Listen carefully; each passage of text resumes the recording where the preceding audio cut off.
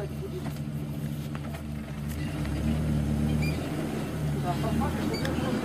Стой! Подожди, маленько.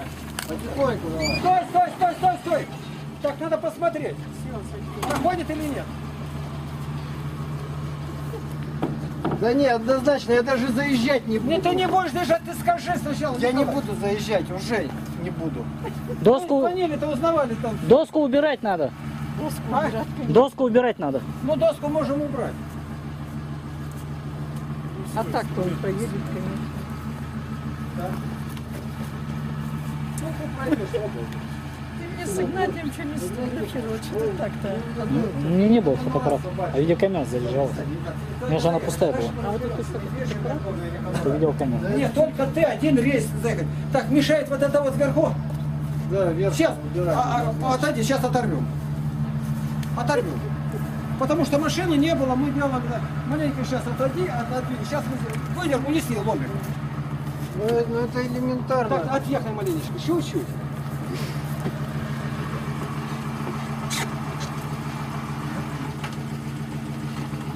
И масло, я на шестом не закатываю. Давай. Так, ломик принеси помочь, ломик. Подожди, пока не надо. Пришел. Ой, скорее, скорее, давай. Вот Ники пришла. Ну. Заторопился как. Она станет бояться. Ой, скорее, а. Сейчас полезу, посмотрю, как они там. Гули, гули, гули, гули, гули, гули, гули. Хозяин вернулся. А этот лохмоногий какой, смотри, у него на ногах перья-то какие. Вот. Вон тут первый-то. Это новенький такой. Он пошел пить, ты гляди, какой у него. Посмотри, Володя. Я уже снял. Неудобно, по-моему. Ну, давайте скорее. Ой, какие у него хорошие перышки, да. Мои голуби, заторопятся скорее, а. Вон Сатик-то, видать его. Ой, как. Ой, испугали, испугали. Ну, что такое, а? Ну-ка, скорее. Скорее, будем мои голуби. Вот, скорее. Фотографирую. Пока на солнце. Давайте скорее. Ой, хорошие голуби. Этот лопает больше всех, а? Ой, как они торопятся, да вот как они дер- дерутся, ну. Ну, давай, давай, давай. Гуля, гуля, гуля, гуля. Ой, это согнал его. Давай, давай. Ой, ой, ой, ой. Гуля, давай скорее. Гуля, гуля, гуля, гуля, гуля, гуля, гуля, гуля. Гуля, сейчас, подожди, он подойдет. Ну давай скорее. Гуля, гуля, гуля, гуля, гуля, гуля, гуля, гуля. Кепку не надо поднять.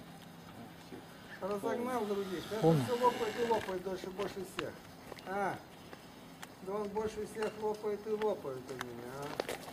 Да какой он у меня гуля хороший, да хороший гуля. Вот он где. Вот он какой.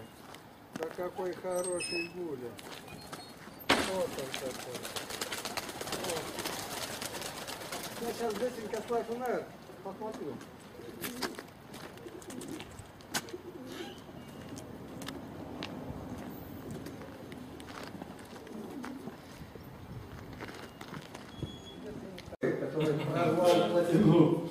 Мы издали книги, которых никогда не было, 2000 лет. Это не просто книги. Они не оригинальные, они единственные. Подарок Путину, Медведеву сделали книги, патриарху. И более 100 библиотек получили в подарок все книги, 38 книг. А 38 это не что-то, каждая книга 752 страницы, вы знаете. Сколько цветных фотографий. Вот как. Ну.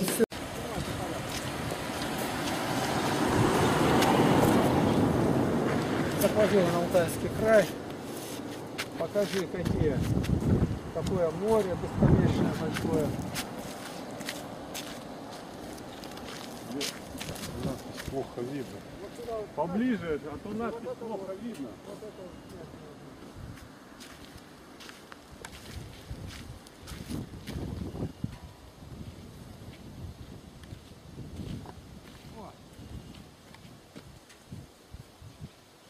Попал. Не просто так, попадала наша машина с какой-то стороны или мы. А таких снимков хоть сколько можно сделать. Иди сюда. Вот отсюда сними Алтайский край, Крутичинский, а ты его в это время щелкни.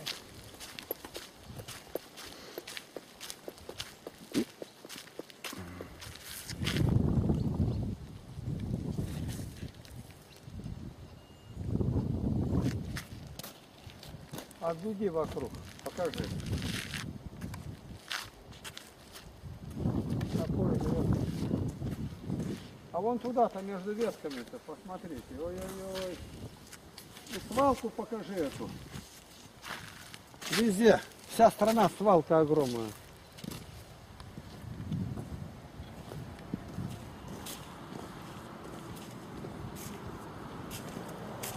Автобус засними.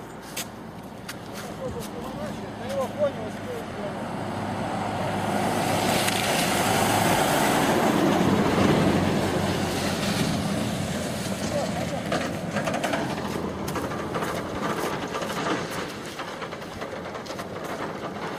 Жития святых, э, добротолюбие, Иоанн Кронштадт, Игнатий Гречанинов, Библия, архипелаг Гулаг, это я все насчитал. Аудио. Ну и книги, там Новый Завет, толкование блаженных Феофилакта. Они в подарок посланы Путину, Медведеву, Кириллу, Патриарху. То есть материалы серьезнейшие. И мы хотели этим поделиться богатством, которое мы имеем. Мы не берем, мы отдаем. Вот только библиотеку, Брать мы сюда хотим. ну, говорят, как званые не были достойны. Так в Библии написано. Сюда входи. Много званых, а мало избранных. Знаете, как сказать, люди верующие, верят, ну это вот, как бы вот, Нет, Ну, вера должна подтверждаться делами. Город, говорит, не может укрыться на вершине горы. Христос сказал. Если ты верующий, тебя отовсюду увидят. Ты верующий, у тебя все дела, твое дыхание другое будет, у тебя жажда другая, не то, что подцепить и утащить. Блажение давать, нежели брать. Представьте, мы тысячи километров едем, чтобы людям дать это сокровище, которое дал нам Бог, которого нигде больше в мире нету. Притом совершенно даром. Даже воду и ту из колонки взяли только. И мы сейчас уже уезжаем. Никого нет. Так, ребята, поехали. Ничего не будет. Ну, ко, ко- ко времени не подошли. Вам пригласительно-то не давали даже? Нет, нет. Мы сейчас подадим вам, чтобы там, может, молодежь выйдет на, по интернету. Сюда подойдите.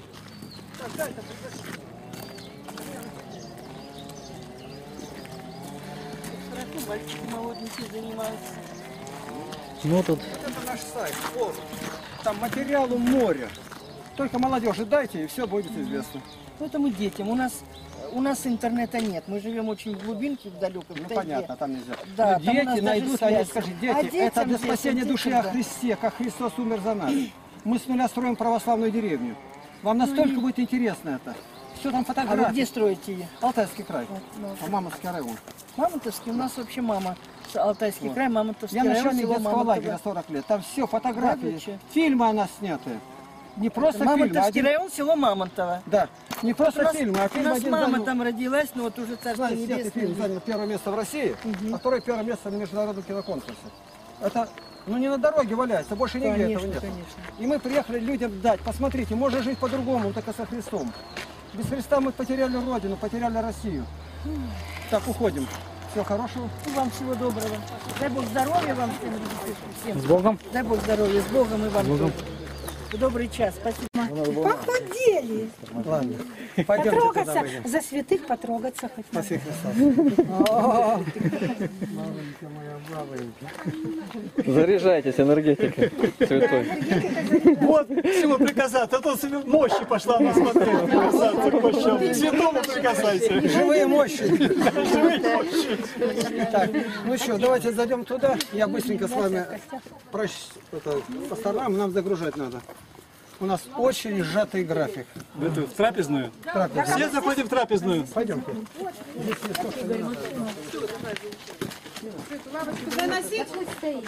Оставим здесь.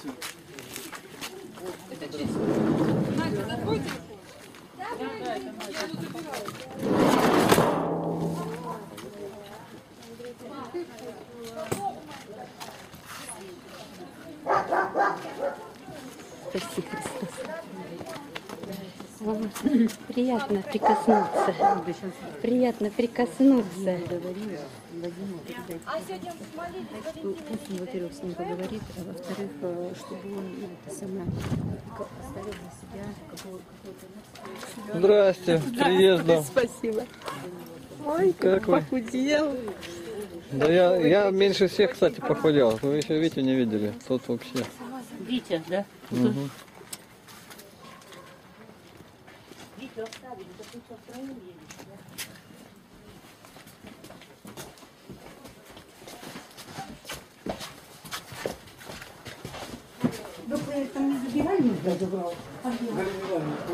Мгм. Только когда батюшки нет. Галя Кубайкина. Садись давай. Приехал. Галя Кубайкина, я, я уже Вы, мне переключиться теперь надо.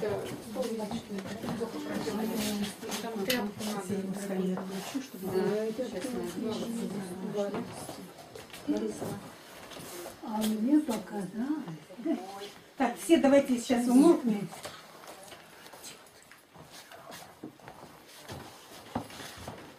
Знакомые лица. Понимаете, вот пишут когда, вот даже смс сбрасывают, ну, хотя бы подписались, кто это, ни одного слова не понятно. Карта в бумажном виде у мамы на пианино, в синей папке лежит. Она говорит, вы собирались заехать, ждем Божьей вам помощи. Никого нету. От кого? Где? В какой стране? Только по номеру это определить. А? Ну, по Номер, номеру. номер, номер не высвечен, но не подписан. Трудно ли сказать свое имя, которое Бог дал тебе в рождении? Или фамилию по наследству отца? тебя на пианино. Это, скорее всего, Анна. Похоже, Никого не Анна больше, из, всё из остальные этого, да? из Канска. Ну, коротко сказать о том, что Вы заехать обещали. благодарение Богу за помощь молитвенную. Значит, мы первый раз, когда поехали, собирали средства на бензин. А дальше нас подпитывали, подпитывали. Как так получалось, что даже не думали. Но сейчас дошло до половины это. Думаю, что дальше мы тоже видим. Если кто добровольно что-то сует, это у нас тоже идет на бензин. Все остальное у нас есть. Значит, это закончилась шестая поездка. Мы пожертвовали книг на библиотеке ровно на полтора миллиона, будучи бедными. Значит, позади что у нас? Не считая Новосибирская, там где-то 7, 31 большой город, это значит в Новосибирском 32 места, серьезных мест, как Москва, ну и библиотеки. И 33 и 51 район. Для сравнения, за три года мы посетили 56. Сегодня неполных, мы 17 июня выехали, неполных два месяца, и сами видите, у нас 84 места. Тогда мы выбрали все вокруг Потерявки на 150 километров, даже более, ну, либо тысячи человек была библиотека. Здесь мы решили по-другому, не возвращаться. Это все оправдано. Представь себе, ехать, сейчас мы за Барну едем, а вечером обратно. А теперь мы где-то ночуем, у нас груз с собой, купили машину, переезжаем дальше. Получилось Алтайский край, мы полностью все районы обошли на прошлой неделе. Все до одного района. Далеко бывает район. Вот так вот районы друг от друга, центры 10 километров. А чтобы попасть туда и сюда, нужно 250 проехать. Мост только в Барнауле, а они на разных сторонах, переезда нет. А у нас задача каждый центр. Поэтому едем в Барнаул, дальше заворачиваем. Итак, вот последняя у нас была там Масляне Новосибирской области. Она где-то там в углу, э, можно сказать, северо-восточная. На одно, на одно село 240 километров. Да попали еще как, ну, подсказали, или они меня не спрашивают другой раз, свернули, я говорил из Черепанова, они в Ленево. 30 километров сэкономили, но дорога как после бомбежки. Там все выворачивает. Но это не песчаное, где мы тогда попадали, еще полностью не пропали. 30 километров. Наше счастье было то, что Господь нас вынес. Если бы мы застряли, рвать машину в песке, когда она как в пудру проваливается, мы бы погубили машину и просто не вылезли. 30 километров, ни помощи, ни дороги. Короткая дорога, сказали, вначале это асфальт, бац, кончилось, и один песок идет. Прорублена дорога, песок. Ничего нет, колея. Видно, только палки, как другую, может, вытаскивали. И поэтому Витя гони, Витя гони с горки, на горку что взлететь. А на горку взлетать там корень, она как через корень не даст, рессора долой, там, это, бандаж с ними. Мы ничего не знаем, грохот стоит в машине, только не останавливайся. Если остановиться, пропали. И мы сверху, ни конца, ни края не видать. И когда мы выскочили наружу, тут мы сразу все на молитвы, живые. А когда полезли, то там каша. Там что, где лежало, перевернутое. Даже железная новая канистра, и та не выдержала, бензин потек. Это отпотевать стал. Они заметили сразу, я в этих э, бензиновых парах, я ночую в машине, три ночи был, отравленный. Я неделю ходил, не знал где, говорится, вверх, где низ. Ну, Бог помиловал. Теперь мы перешли на Новосибирскую область, но э, сегодня нам просто условия такие поставили. Виктор Николаевич отошел от нас. Школа, ему надо готовиться. Он отходит, и вот сейчас он был, вышел брат Андрей Устинов. Ну, он имеет машину, опыт. Витя поехал, как сказать, первый раз. Только что недавно закончил школу э, на шофера. И за три поездки он наездил 5777 километров. А поездки были недели, там 4 дня, и вторая тоже 5 дней. Это уже у него опыт. опыт. Ну, вперед едет, а назад совсем не умеет. И поэтому ему назад спятить просто... А я, а я начинаю дергать их, начинаю упрекать, как всегда, а они еще хуже. И говорит, чем больше мы их бьем, тем больше они, говорит, зверонравнее делаются. Ну, дело такое, наж- нажитое будет. Возникает иной раз, ребята, приходится мне там, уже применять власть, не спорить. Мы договорились здесь, беспрекословное подчинение. За общую безопасность отвечаю я. И поэтому я протаптываю трассу, где если ночевать, не топка или место, и как выехать, и все. А они совсем ничего не понимают. Загоняют туда, откуда может никогда не вылезти. Как дети, детишки, вот лежу на них, они дети ра- неразумные. Ну, лет так по 13 с половиной лет. Одинаковые. Они не соображают еще. Единственное, где у них язык молотит на полную мощность, когда огрызаться нужно. Тут они такое искусство показывают. Ну, приходится гасить просто. Кроме того, что я зануда, я еще ну, есть власть у меня. Полномочия. Ну и опять сразу стоп. Они не так сразу машину стоп, заглушили, из машины долой все, на молитву. Помолитесь, помолились, просились, и опять поехали, все хорошо. Что-то завозникали, стой машину, глуши. На молитву. У них ничего не получится. Сатана еще пытается сделать, у него ничего не получается. Худо или бедно, шесть поездок позади.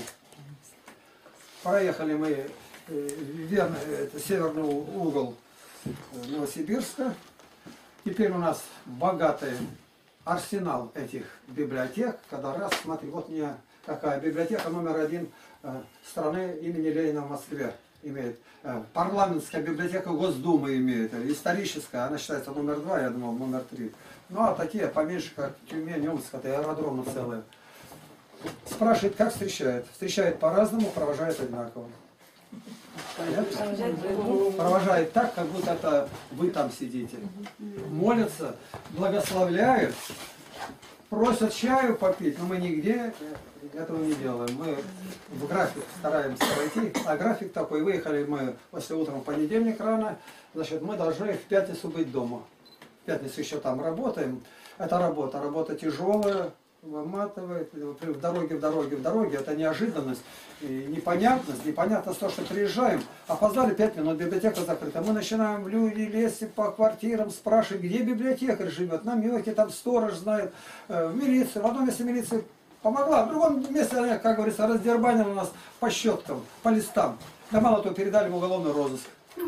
А когда все перебрали, все проверили, и уголовный розыск с нами фотографируется, улыбается, и провожает везде одинаково. Это милость, ваша святая молитва. Мы вам очень, очень благодарны. Мы просто, знаете, не просто так молитесь, а мы ощущаем помощь, прям, прям видим вас. И, и где бы мы ни были, библиотекарем всем, узнаем, как звать, мы за вас молимся, вы помолитесь за нас. И все молятся, выйдут, благословляют уж как могут.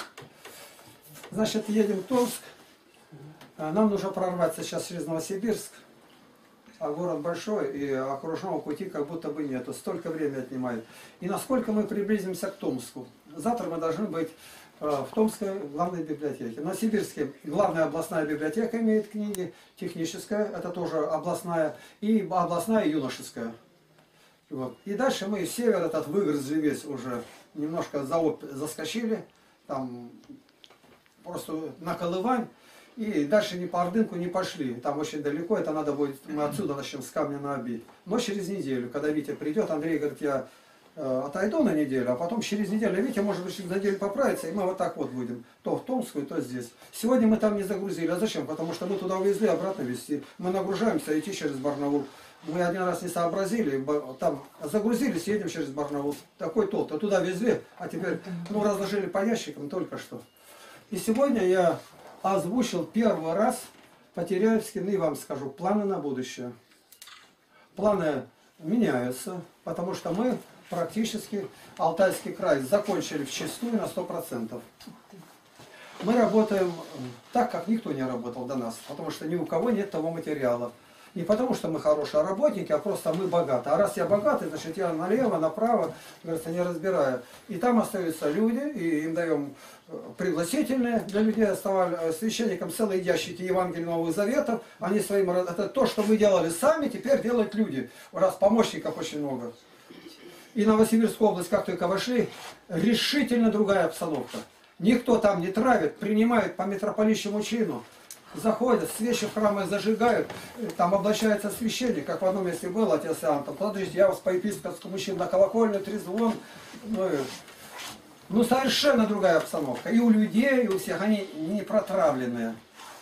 Там епископ еще не знает, и, и работает просто, конечно, как человеку это приятно. Но опасности гонения, они, во-первых, закаляют, а во-вторых, делают дело более крепким. Так что после епископа придет более склонный, здесь хотят поставить какого-то более, то, ну, в общем-то, мы уже ничего не имеем, потому что мы привыкли, у нас фронт, мы сражаемся все время, у нас все время накачка тут идет. И... Ну, вот так. Планы, значит, такие. Если мы все выбираем здесь, заканчиваем с Новосибирской областью через две недели, в каждый район, это 50 с лишним может быть. У нас опыт просто, я все время говорил, опыта нет, опыта нет, помните? Теперь я сказать не могу. Опыт есть такой, какого ни у кого нет. Мы решительно везде все включаем новое и новое, чтобы... Вот едем через реку, большая река, команда, все, отстегнуться. В случае чего падает, когда поезд, автобус, там, это падают ноги, никто не и собаку отстегнуть. Проехали, пристегнуться. Все, то есть это включено, и на каждой большой реке мы одинаково всегда это делаем. Спрятать машину, отъехать, где, э, как входить, какие первые слова говорить, на какие книги обратить внимание, у нас уже все отрихтовано. Уже вводить там ничего не можем, только попортить, если кто желает что-то. Но относительно о реальности, то есть местности, тут уже пересмотр. С Кемером мы закончить можем уже в следующем году, в самом начале. А Томск можем нынче просто поглотить. Там не так много, и раза два выйдем, и мы закончим. По районам. Там встречаются иногда большие села, прям большие. Э, Въезжаем село, видно огромное село, спрашиваем, сколько населения. В одном месте заехали в город, какой город? Спросили министерство 100 тысяч. Два раза больше Павловска. Ясно дело, что библиотека наша теперь знакомится. Оставляем визит, собирают всех работников, я выступаю перед ними, не считая, где кто-то в дороге. Было такое, что священники желают собрать, были такое, что упрекали даже, почему не сообщили, я бы народ собрал тут, и, то есть это та мечта, та моя стихия, в которой я прожил 50 лет. Вот. Э, Бог открыл это мне уже в конце жизни заново, Заново я переживаю свою юность, первые дни. Вы бы знали, как я рад. Я в своей среде. Они-то там воркуют впереди, сидят что-то там по транспорту, я о другом думаю. Как только выехали, из какого села, только последняя дама проехали, ребята, молитва, и 7 минут молитвы. Едем и молимся. Все полное молчание, шапки долой, и начинаем молиться. Они там поют от Царю Небесный, дальше 100 поклонов. Ну, а я один там про себя, у меня щеточки еще подарили. Все как надо идет. И вот я говорю, мы выбрали все. Но впереди у нас, если Россия осенью не развалится, еще она будет Россией, вот такой цельный, где можем мы переезжать из области в область, как сейчас через Казахстан не проедешь, а тогда же раньше это в Советском Союзе, это хоть куда езжай, она одна страна была, то план нынче такой. То, что я озвучил в Потеряевке, дал знать. Но это только всего лишь э, разговор, план пока, ну, знаете, как разговор вот об этом. Был разговор, и вдруг все, и машина куплена, и материалы, вдруг достали Евангелие, там, достали через Гион Новых Заветов. Евангелие в Иркутске получили, речь идет о тысячах. Ты, у нас все меряется тысячами. И деньги, и, ну, за машину не собрали, но мы ездим, ездим. И шоферов как-то Бог дает. То дальше будет так. Выйду я через священников, если Господь благословит, ему это угодно будет, и живы будем. В центр России, вот, допустим, Санкт-Петербург, Одесса. От Москвы до Румынии и посередке, посередке какой-то центр. Мы как бы Потеряевку хотим туда и перенести в том месте поставить, чтобы был город, где нас знают, где ждут и где-то на окраине, чтобы долго не мотаться, а сразу. И начнем туда слать контейнера по пятитоннику, примерно 10 тонн. Сразу засылаем литературы. и туда выезжаем. И оттуда начинаем, как из Потеряевки, как из Барнаула, по Лучевой, до Петербурга и захватить до самой румынской границы и до низу. Та же самая работа. Это очень серьезно, но только будет целая Россия. Остальные препятствия меньше, значит. Контейнер, один пятитонник заказал, до второй, да соберем деньги, отправим. Заранее точное количество. Кроме того, когда мы едем, мы собираем на 20, по 30, 38 книг, полный комплект, у меня 38. И мы знаем вес 31 килограмм. И берем с собой э, Новый Завет, второе издание, дополнительно для подарков. И берем э, для Слова Божия нет узкости, но православие и две симфонии. Все, вот это вот то, что не, не по пачкам. А которое в пачках, это на два ящика. Первый ящик, второй. Первый до 11 тома и что до открытым оком. И далее до конца. И с этим мы заявляемся везде. А это э, познакомились с церковь. Ну, Допустим, церковь небольшая. В библиотеке, может нет. Тогда я священнику это дарю. Бывает так, другой священник получит, да вот вам на бензин хоть что-то дать. Это бесплатно. Это все бесплатно. Ну вот мы были в Новосибирске, и нашей Вали э, сын, там Роман, он построился, там как-то через лес едешь, ну как дачный еще поселок, ну уже по-настоящему строится. И он решил, тот раз не знал, что приедете а вот это я знаю. Ну скажите день, мы сказали в пятницу в 6 вечера. Договорились, если будет 10 человек, то дадите знать, и я заверну. А заворачивать-то далеко. Я все время приближаюсь в пятницу ближе к Барнаулу. Ну, дал слово. И получилось так, а Сергей говорит, ну а если будет 9, вспомнил Авраама, говорит. А если, говорит, 15 нет праведников, неужели погубишь? Ну, ради 9 приеду все равно. И что получилось? Они старобрядцы. И пригласил 15, которые уже знают, там, врагов и лютых, каких не приглашали. 15. Из них пришел только один. Теперь он приглашает неверующих, которых знает, с кем работает. Ну, неверующие, то есть совершенно там директор магазина там один, и какой же там магазин, не знаю. И 10 человек, тоже пришел один. А потом еще несколько человек пришло, и получилось ровно 9. И первый, кто приехал в Новосибирск, с батюшкой, моя сестра Валя.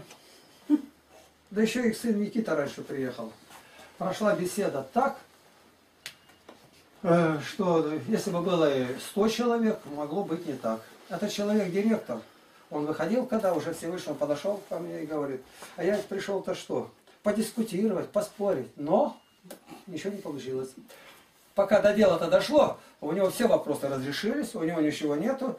Как, ну, в университете как было, приходит с вопросами, не задавал, вышел, все вопросы. Это Бог опять повторил это. Вот, а из старобрядцев пришел один, он бывший летчик, как сестра сказала, потерпел аварию, что-то у него так это, ну, повреждения. Ну и вот там эти свои старобрядцы давили, враждовали, а теперь он побыл маленько, да еще с опозданием, далеко. И все его враги-то теперь моя сестра показывает, перед ним говорит, вот такие будут. Он говорит, мне этого достаточно, что я увидал и услышал. За глаза они все широкие, а никого нигде нет. Еще раз убедились баптисты, которые там такие хваленые, на встречу нигде ни разу не пригласили, хотя мы приехали в их город, в их село, сообщили, походатайствовали, решительно отказались, как в вот она знает. Ее сестра родная баптистская, даже адрес пресвитера не дали. А они к нам, когда приехали, там из Табунов, где Игорь, я им и трехтомник подарил, и до слова Божия, там на тысячи подарил литературы. Уже они знали, кто едет. И они удивлены были, вместе молились. Но встретиться лично, это совсем другое. Вот Бог как это делает. В одном месте, месте библиотека имени Карла Маркса.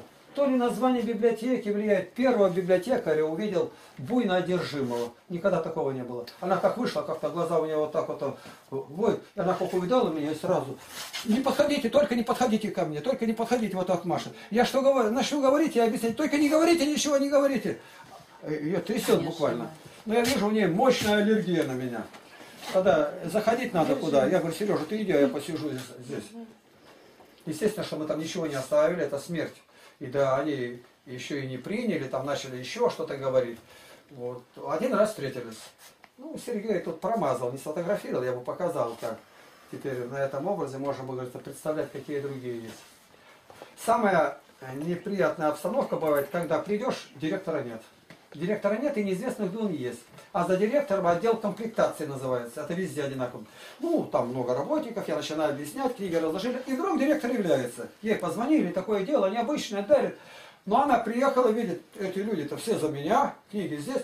А она выглядит теперь позади их, и она сразу решительно, я как директор все это убрать, я ничего не принимаю, ей надо прежнюю свою власть показать над теми, которые вдруг на этот момент полчаса оказались выше ее. Выше это явно, и она это поняла. Притом, директора, которые друг друга не знают, все одинаково ведут, которые опаздывают, все до одного. Это примерно человек, может быть, 25. Встречались в селах где это, если ее нет, она уехала. Вопрос один, она приедет, книги осмотрела, положила. А здесь вот так. И поэтому нам нужен директор. Или чтобы его совсем не было. Теперь, когда она начала против, теперь моя задача сделать ее другом. А она никаких ничего не слышит. Медленно, медленно начинаем разворачивать. Наконец, она сама подходит, начинает книги смотреть, и все это сурово, все, вы-то что, мел мелюзга? Вот я-то, потом, ну ладно, давайте бумагу подписать, что ее это, бумагу. Дальше улыбается, дальше выходит, фотографируется, провожает везде одинаково. Вдруг раз подойдут, ой, какая у вас мощная энергетика, какой-то свет, там такое накручивает они все. Да какой свет, мы все в грязи, в пыли. Вот. Нет, вы не говорите, а только подошла, можно хоть голову вам на плечо положу, там, или там, это, обниму, там скажет, рядом стану. Люди, измученные в грехе, я, познайте Господа, Господь близок. Нам Бог это дал. Дал это Бог без хитрости. И мы отдаем без лукавства. И когда расскажем, какой книге где-то что-то есть, ну, ясное дело, что они буквально плывут. Вот, последнее было в Масляне, на такую дорогу едем, не доехали, заночевали в лесу, там, вот, после дождя, да где съезд наш, чтобы травяной было, не так круто и недалеко, чтобы не застрять. Это надо все иметь в виду, и прям рядом. Ну и завернули, и все так получилось. Нашли такое место, и думаю, такую даль едем. Едем, едем, едем, и там дорога такая, что там будет? А там прием такой, чтобы еще 200 километров проехали. Второго священника голубятника встретил. Три голубятника. Да не может Матеус сидит, коз дует.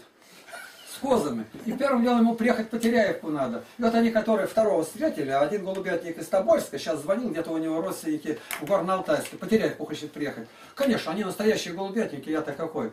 Ну, я голубя-любитель. А я говорю, а когда вы голубей полюбили? В пять лет? Я говорю, я в пять. Почему-то в пять лет сходятся. Ну, еще что-то коснулось. Он торопится, давайте ко мне в храм, да я оденусь, да свечи зажигают везде, да, да, я говорю, да не надо нам ехать, а нет, другой светильник, да третий, да везде сфотографируются. Они эти, которые голубей держат, они какие-то, так как и я, малохольные, или как сказать, в детство впавшие и не вышедшие из него. Вот у него улыбка с лица не сходит, он не знает, с какой стороны стать. И одинаково все при том. Вот что-то то ли птица голубь это делает, или уже голубям именно такие люди прислоняются в детстве застрявшие. Как, де, как дети. Ага. Ну, приятно, очень приятно знаться с ним. Его звать Виктор. И наш Виктор стали фотографироваться. Два Виктора, его рост там одинаковые. А я уже сразу, а, а тот так, комплекция. Сколько весу? Виктор там, ну, 70, там, 8 килограмм или 76 килограмм. А у этого 105. Я говорю, сколько на тебе лишнего-то? И как начал это, да я уже вроде пытаюсь, да, потом сам поешь, на пятница сегодня, какие сливки-то, ой, да и правда пятница, он не знает, чем угостить. И стол закрытый, давайте по порядку. С чего начать? Говорю, первым, что это у вас там? Кофе убрать и никогда в дом не запускать. Что, конфеты все выкинуть и близко, чтобы не подходить. Я ему начал стол, то у него столе там бублики остались. И все это заснял. Ты заснял, наверное, Сережа, это? Когда за столом-то было? Ну, тут я уже просто в таком юморном виде. Вот, если Господь нас благословит, мы должны быть в Томске. Пробраться дальше сразу в центральную библиотеку, в две, юношеская или городская, и сразу с севера пройти. Поэтому мы сегодня сейчас сразу начинаем работать. Кто хочет, сидите где-то рядом, чтобы не мешались. На том конце можно будет сидеть. Помощников не нужно. Вот главное у нас это Миша, Михаил Петрович, и сестры, вот Галя, Нина, Татьяна. Кажется, больше никого тогда и не было, да? Да, трое только, Галя нет. Запасной у нас А? сегодня. Запасной вы сказали сегодня еще. Ну ладно, это ничего. Я буду говорить, что мы как распаковываем, делать абсолютно, как я говорю. В одном месте в прошлый раз отступили, ну чуть-чуть. Все, да, за работу остановилось, и что в машину погрузили, выгружайте все назад. Три тома оказались лежат неизвестно из какого потери.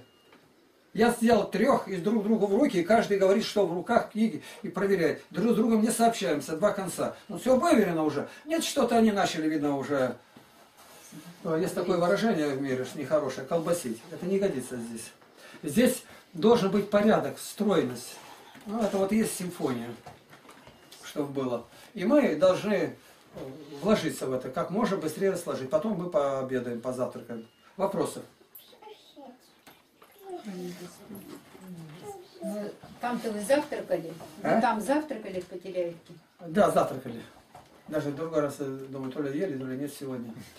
Когда э, легли спать, а ночью гроза, ну что. А Сережа мигнул там что-то теле- телефоном, там, они ну, совершенно не приготовленные. Я сказал, как темняется, нигде не искорки. Нас видно за километр. Нам не нужно, кто-то от нас видел. Люди это останавливаются возле милиции, нам наоборот как можно дальше. И это нас сохранило, вот с 17 будет два месяца. Он что-то телефон, там он любит играть с телефоном-то. Я уже закрываюсь в машине, вижу там.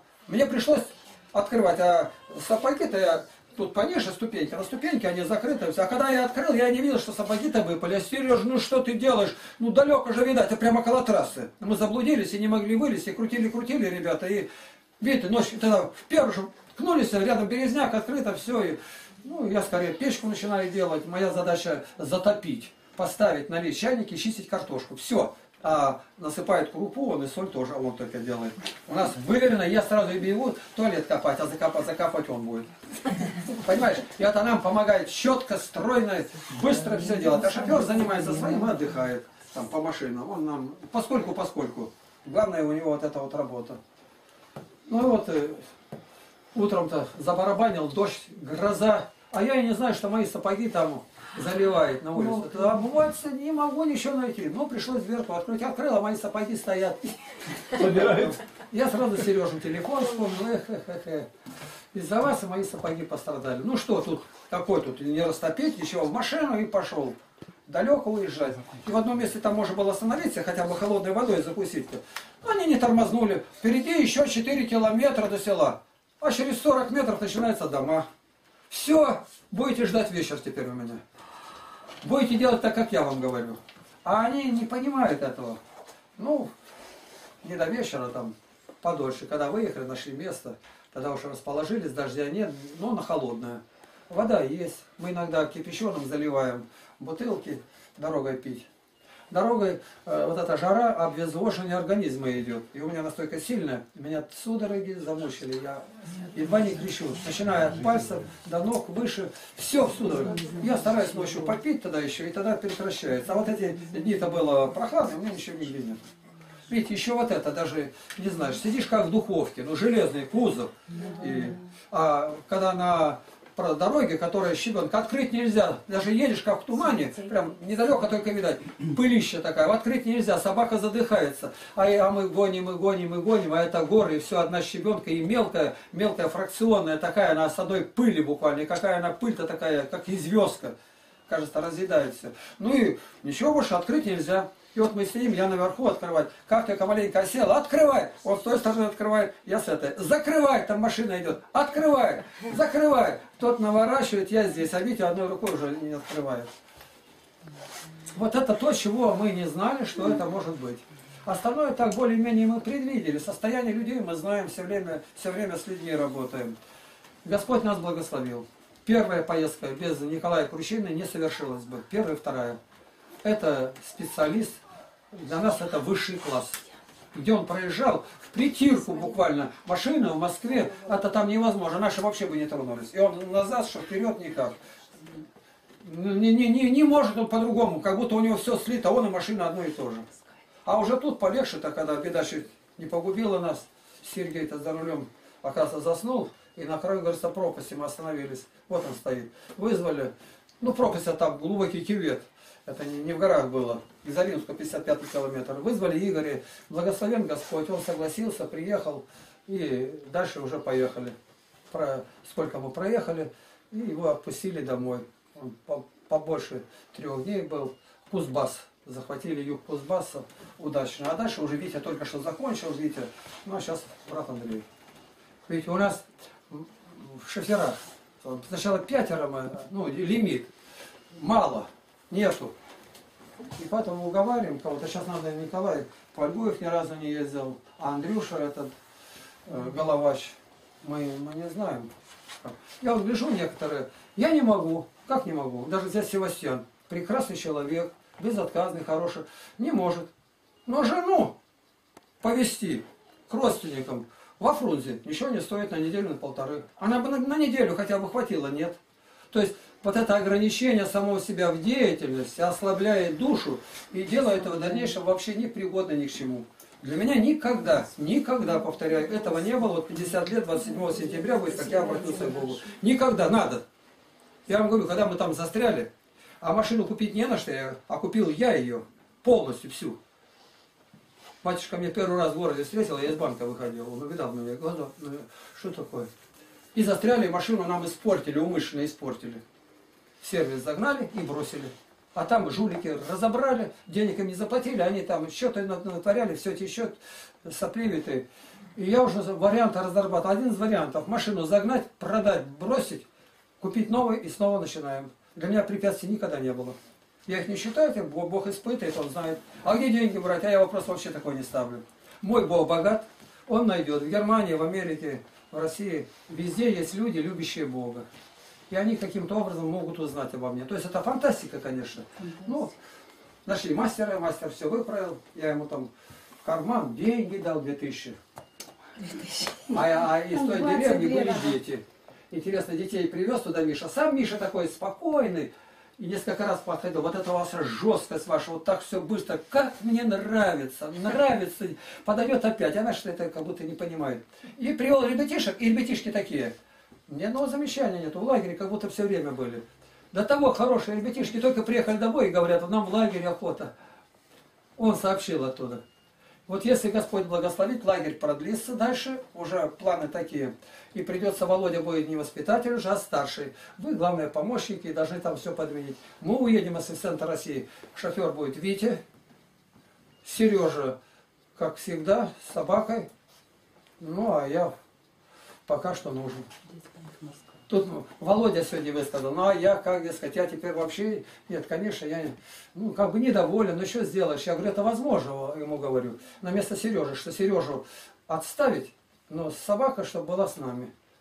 Ну а зачем мне это нужно, когда он хозяин, он тренирует, она не теряет свои качества. Ну пока в этом надо насидеть, но просто вариант, один из вариантов такой. Видим, что без шофера нельзя, ну и пока я нужен. Книги, да что за книги, кто? А когда говорят, это автор книг, а мгновенно, в течение одной секунды настроение меняется. Автор книг этих, ну тут ясно что. И уезжаешь, ну можно хоть автограф, то я говорю, это Евангелие, я не могу на Евангелие ставить автограф какие-то. Ну как же так-то там, да ну еще тогда одну книгу какую-то, на той книге тогда я, а, ну распишусь, да и все, скажу, без Христа нет жизни, любая опасность делается радостью в нем. Ну, такое, что я сам испытываю, я не придумываю ничего, а именно на сегодняшний день вот это то, что меня держит, несет, я это и напишу. Подписался Игнатий, кто? Ну, патриарх. Еще бы вы делали, если были патриарх. Патриарха есть. Имя свое. патриарх. Имя свое я бы говорю оставил, только я сейчас Игнатия Ростовского чудотворца, а там сейчас Игнатия Богоносца. Смеются. Вот какие телеграммы еще, вот сейчас СМС. Патриарх э, Кирилл Гундяев фамилия его. Какой ни на он патриарх. И если бы он приехал сюда, э, спрашивает, что бы сделал? Принял по щину его по патриаршему, поклонился, поцеловал, сел бы, накормили, дальше побеседовали.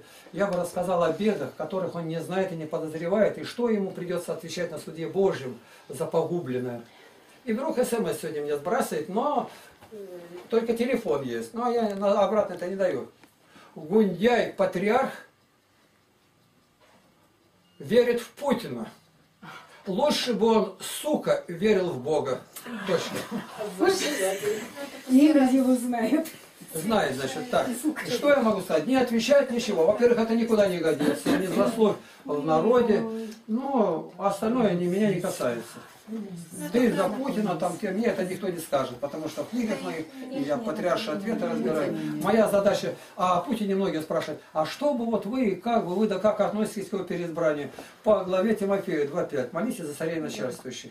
И вот тут мое давление может достигнуть предела. Или уберет его Бог, или уразумит, или обратит. И... У Бога много вариантов. У меня только один, молиться. Я не могу ни киллеров нанимать, ни, ну как этих судили, Тихонова на Амана Тулеева покушение. Чемпион мира по стрельбе, нанятые убитые. Ничего мне не надо этого. Я знаю все в Боге. Если Путин будет преступник, самый последний-то, и я таким же, мне это не поможет. Если он будет святой, а я преступник, тоже не поможет. Но если я буду жить свято, хотя сто их человек будет, мне это не повредит. Но у меня программа очень-очень простая. От сложного перейти к простому. Вопросы? Так, начинаем. Встаньте, перейдите на другую сторону. Я вам благодарен, кто остался, кого я увидел. Остаются те, кто хочет, работники. Уже, уже в э, газете появилась заметка. Сейчас вам дам эту Кого? газету. Про нас, что ли? Про вас, да. Тогуле, Тогуле. И что там ругается? Ольга Свечникова там была, там, корреспондент. Вы с ней разговаривали? Ольга Свечникова, потому что она пишет, что после разговора у нее длительные были размышления. А, И поэтому она написала эту статейку. еще она там пишет. А вот сейчас прочитаете. Благодарю. Давайте. Благодарю, Игорь. Так, Геннадий Тихонович. Геннадий. Вот статья. Ну, ну, прочитай. Давай. Интересный человек, книги в подарок. Игнатий Тихонович Лапкин, знаменитый современный православный миссионер, основатель села Община Потеряевки у нас на Алтае. На этой неделе побывал в Тогуле. Встреча с интересным человеком всегда в радость. Общение с ним помогает внутреннему развитию. Собеседник уже ушел, а ты еще долго размышляешь и вспоминаешь услышанное. Вот и встреча с этим человеком заставила задуматься о многом. Игнатий Тихонович Лапкин родился 10 июня 1939 года. Верил, что есть Бог, загробная участь, рай и ад с младенчества. Из книжки все Занимался исследованием Слова Божия почти 40 лет. Игнатий Тихонович дважды сидел в тюрьме за то, что в советское время проповедовал. И даже в тюрьме он продолжал свое дело. Многих привел ко Христу и там. Каждый день, каждая минута дороги для него, как последние в жизни. Встает в 4.30 утра, молится и за работу. И так каждый день. Издал 38 книг. В Тогул Игнатий Тихонович приехал по делу, подарить свои книги в библиотеке. Сумма довольно приличная, но только одно условие у автора – не препятствовать чтению его книг пользователям библиотеки. Точно такие же книги получили городские и сельские библиотеки края, Кемеровской и других областей. Оценить по достоинству произведения автора можно в библиотеке имени Н.Н. Чабаевского. Ольга Воропаева, фото автора. Ну, пожалуйста. Это ж сколько экземпляров? Ну-ка, нету ли тиража? Это, это Надежда, Надежда. Надежда поехала и как раз получили эту газетку. Это И какая она привезла. газета На- называется как? Надя Дмуха. Сельские огни, Тогульская районная Так, а газета. сколько экземпляров? Ну, Сейчас посмотрим. Дала фотография, тут это она сфотографировала. Да, да. А, у меня нет такой фотографии. Ну вот видите, это, то- это уже реклама настоящая. Вот здесь должно быть. Вот, вот в этом месте. Пока не вижу. Да. Ну, небольшой, конечно, тираж сельский, но тысячи три может быть. 1800. 1800. Ну, 1800 это... 1800 это не два. Так, все. Держите. Благодарю.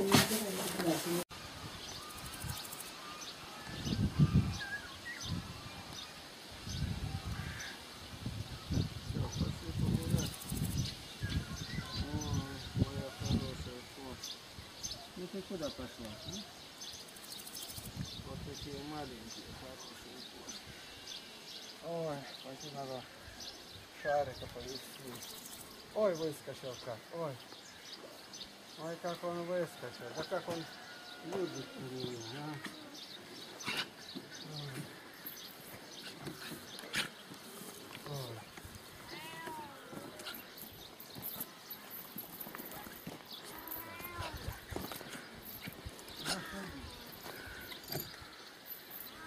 Солнца оттуда уйди с дороги. Давай, вот он шарик пойдет погулять, погулять. Все они тут стали на дороге. Ну, пошли. А что, сейчас ты боишься, что? Кошки, это кошки не трону. Ну, пошли. Вон туда обойдем, пошли туда. Пойдем. Пойдем. Пойдем гулять. О, а что такое? Же гулять любишь, пошли гулять. Давай, вот он гулять пойдет у меня. Гулять пошел, пошел. Ну, пойдем, а что гулять не хочешь? Ты что гулять не хочешь? О, ну так же ты любил гулять, и кошка вот она. Что такое? Ну-ка, пошли. Ты куда? Уходи отсюда. Уходи, уходи, уходи, уходи, уходи. Уходи, дай нам дорожку пройти. Пошли, пошли, Шарик. Ох, она какая кошка. Пошли. За- Зацепила эту ножку. Ну, ногу-то зацепи, вот. Пойдем погуляем. Уйди отсюда, не лезь. Мы тебя не трогаем. Не трогаем, нет. Мы с котенком поиграть хотим. Ну-ка. Вот он котеночек, познакомимся. Тут еще такое. Подожди. Подожди, я сейчас котеночка возьму. Ну-ка. Пока, показать, какой котеночек. Так, подожди. Ну, посмотри какой, познакомься. Нельзя. Нельзя. Он хороший котик. Смотри какой. Посмотри какой. Гляди, ну-ка. Посмотри какой. Ну, он какой хороший. Ой, хороший какой. Ну, ну, ну, подожди, подожди, подожди. Сейчас, подожди. Он пошел, познакомимся сейчас. Подожди. О, по- познакомься. А вот это новенький у нас? Нельзя. Он какой. Ой. Ой, хороший какой. а. Видите какой? Ой, какой хорошенький. Он какой замечательный. Ой-ой-ой. Смотри. Ой. Ты, ты что, рыжая? Да он его разве возьмет? Подожди. Подожди маленько. Пускай они познакомятся. Смотри, какая красота. Шарик. Шарик, посмотри какой. Ну-ка. Шарик. Да гляди, гляди, какой хорошенький. Ну-ка. Ну, ты же за ним гонялся. Хотел посмотреть. Ну, посмотри какой. Ну. Что такое? Что? Ой-ой-ой, а. Шарик, ну познакомься, познакомься, познакомься, не бойся. Я не дам тебя в обиду. Давай. Гляди какой, гляди какой. Он какой хорошенький. Понюхай его. О, на. Пошли гулять. Ой-ой-ой. Она преследует нас.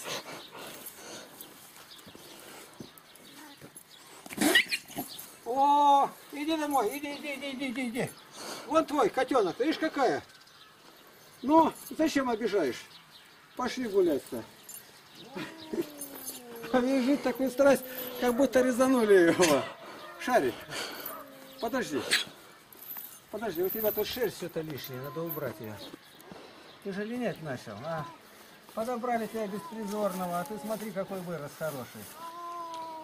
О, ну что, что такое? Он отвернулся, даже не смотрит на тебя. Вон котенок-то где ушел, куда? Его нету здесь. Не надо трогать. Он пошел, смотри. Ша- шарик ты, шарик. Вон куда пошел. Все.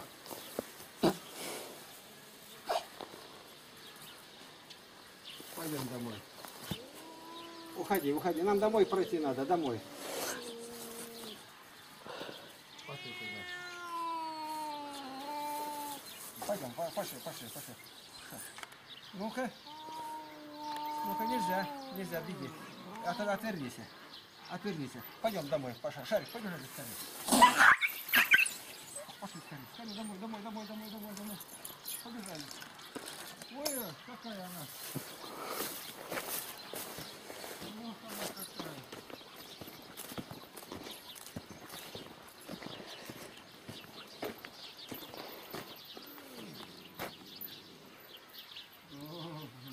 Все на тебя, хорошо.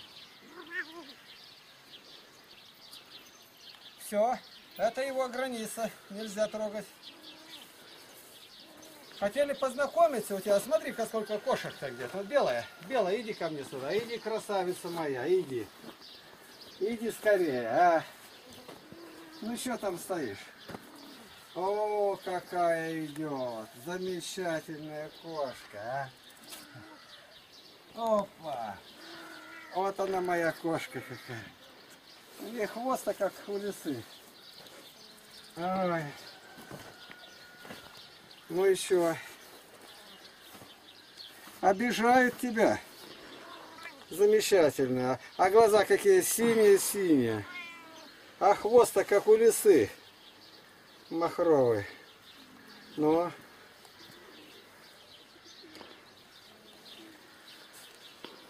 Она мамка их обоих, только пораньше эту принесла. Вот она. Она туда залазит не посуда, в другом месте, а потом пытается кричать. Я сегодня перекрыл, потому что чужие коты, они туда залазят, вот, вот этого зажжет маленькую, и тогда достать нельзя. А так они на глазах. А он хватает ее за ноги, за ноги, еще делает, кусает как. И люди хватает.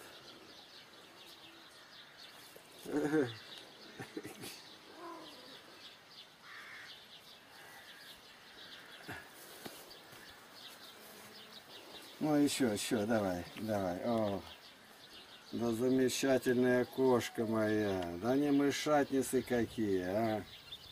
Ой, малышатница. Ну, рыжая это что там? Ну иди сюда, иди. Она не может под дровами мышей найти. Она чувствует, что они там ходят. А как взять, не знает. Опа! Вот он какой. Это тоже маленькая растет. Но, да замечательные кошки. Рыжая, иди сюда. И шарик ты дальше, заш- какой-то кот серый зашел, и он залаял, а этих не облаивает. Но, смотри какие. Ну-ка, что тут такое? А? Куда пошли? Смотри какие. Гляди какая, а? Давай, давай. Ну, да что бросила ты ее? Ой-ой-ой. Хорошая кошка у меня. Замечательные у меня кошки, а? Глазки голубенькие. Будут мышек ловить.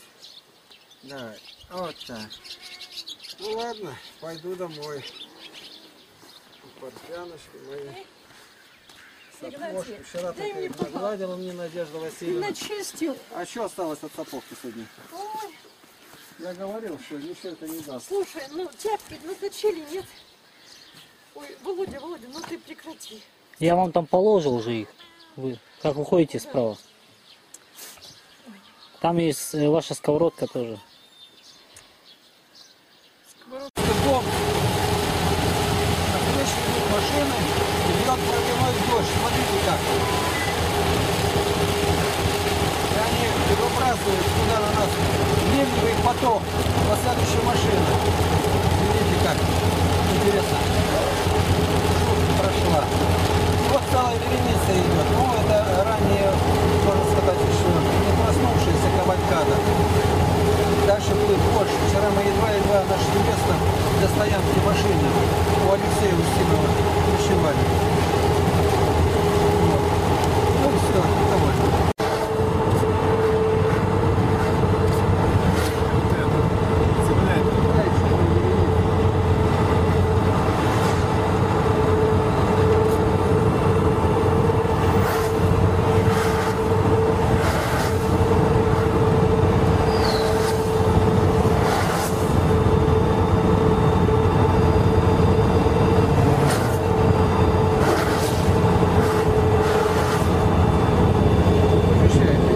беседе на магнитофон записано, а потом все это зас- засняли.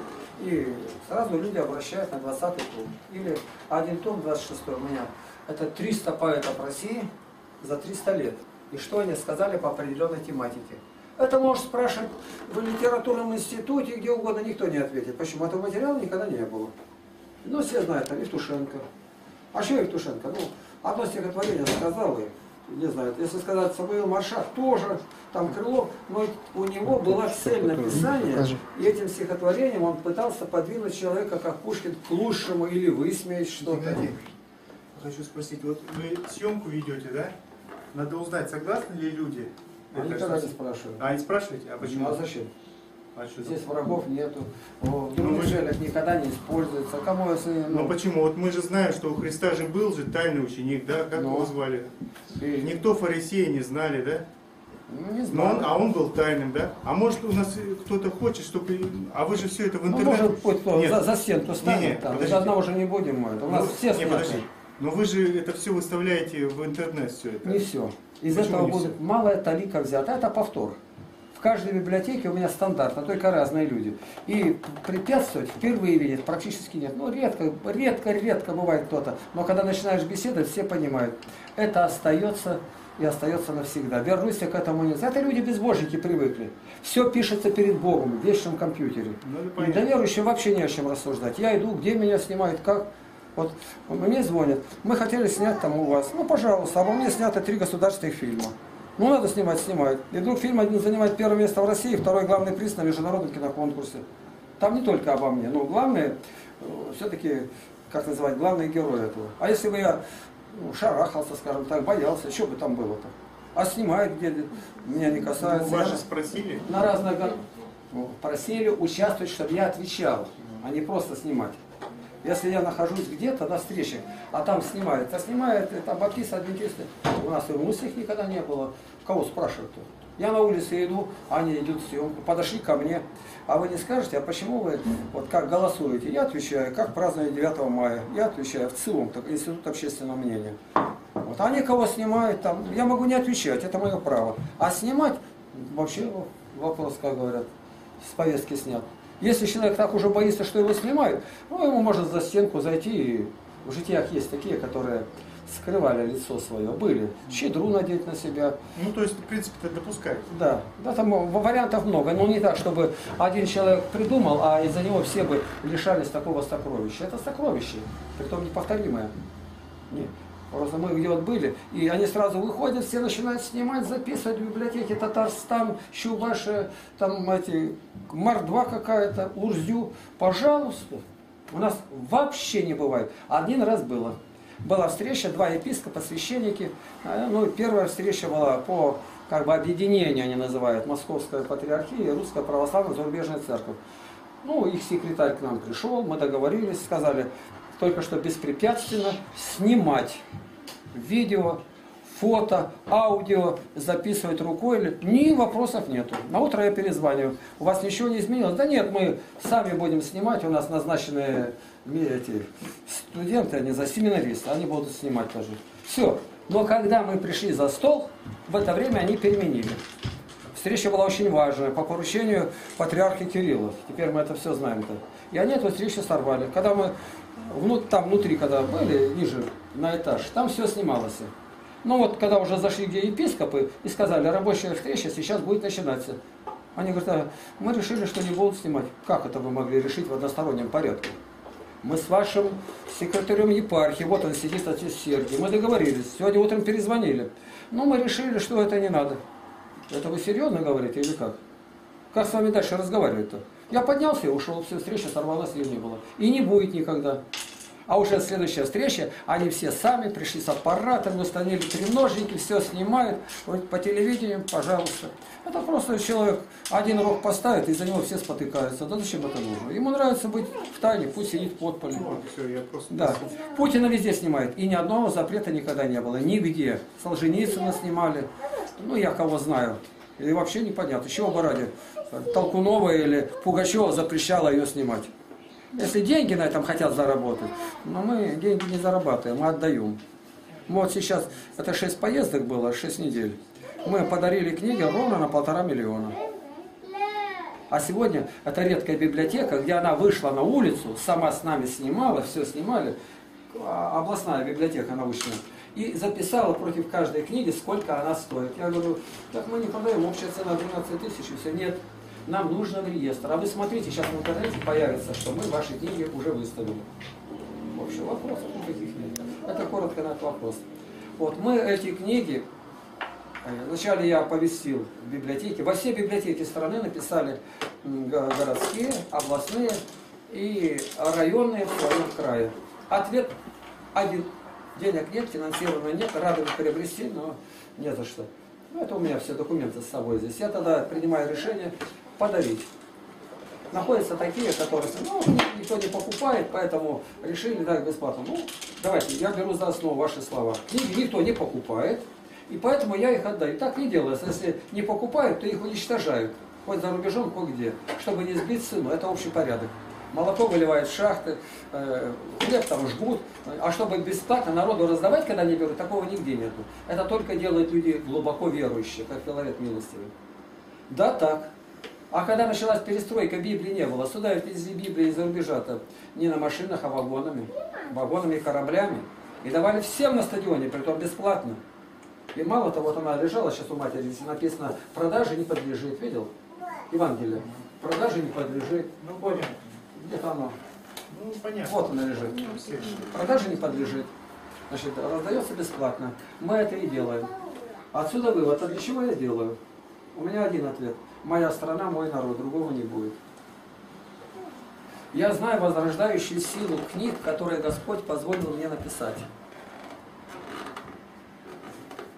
Мы приехали в Ишим, а архиерей говорит, мы сдали книги в библиотеку местную, Тюменской области. Они пролежали год, и библиотекари их вернули. Ни один человек их не считает. Ну зачем толку занимать, когда ни один. Ну бывает, кто-то взял ее, посмотрел и тоже на место поставил. И тогда священники мне говорят, сидят священников несколько, как это, разве это справедливо? Игнатия Бринщина не считают.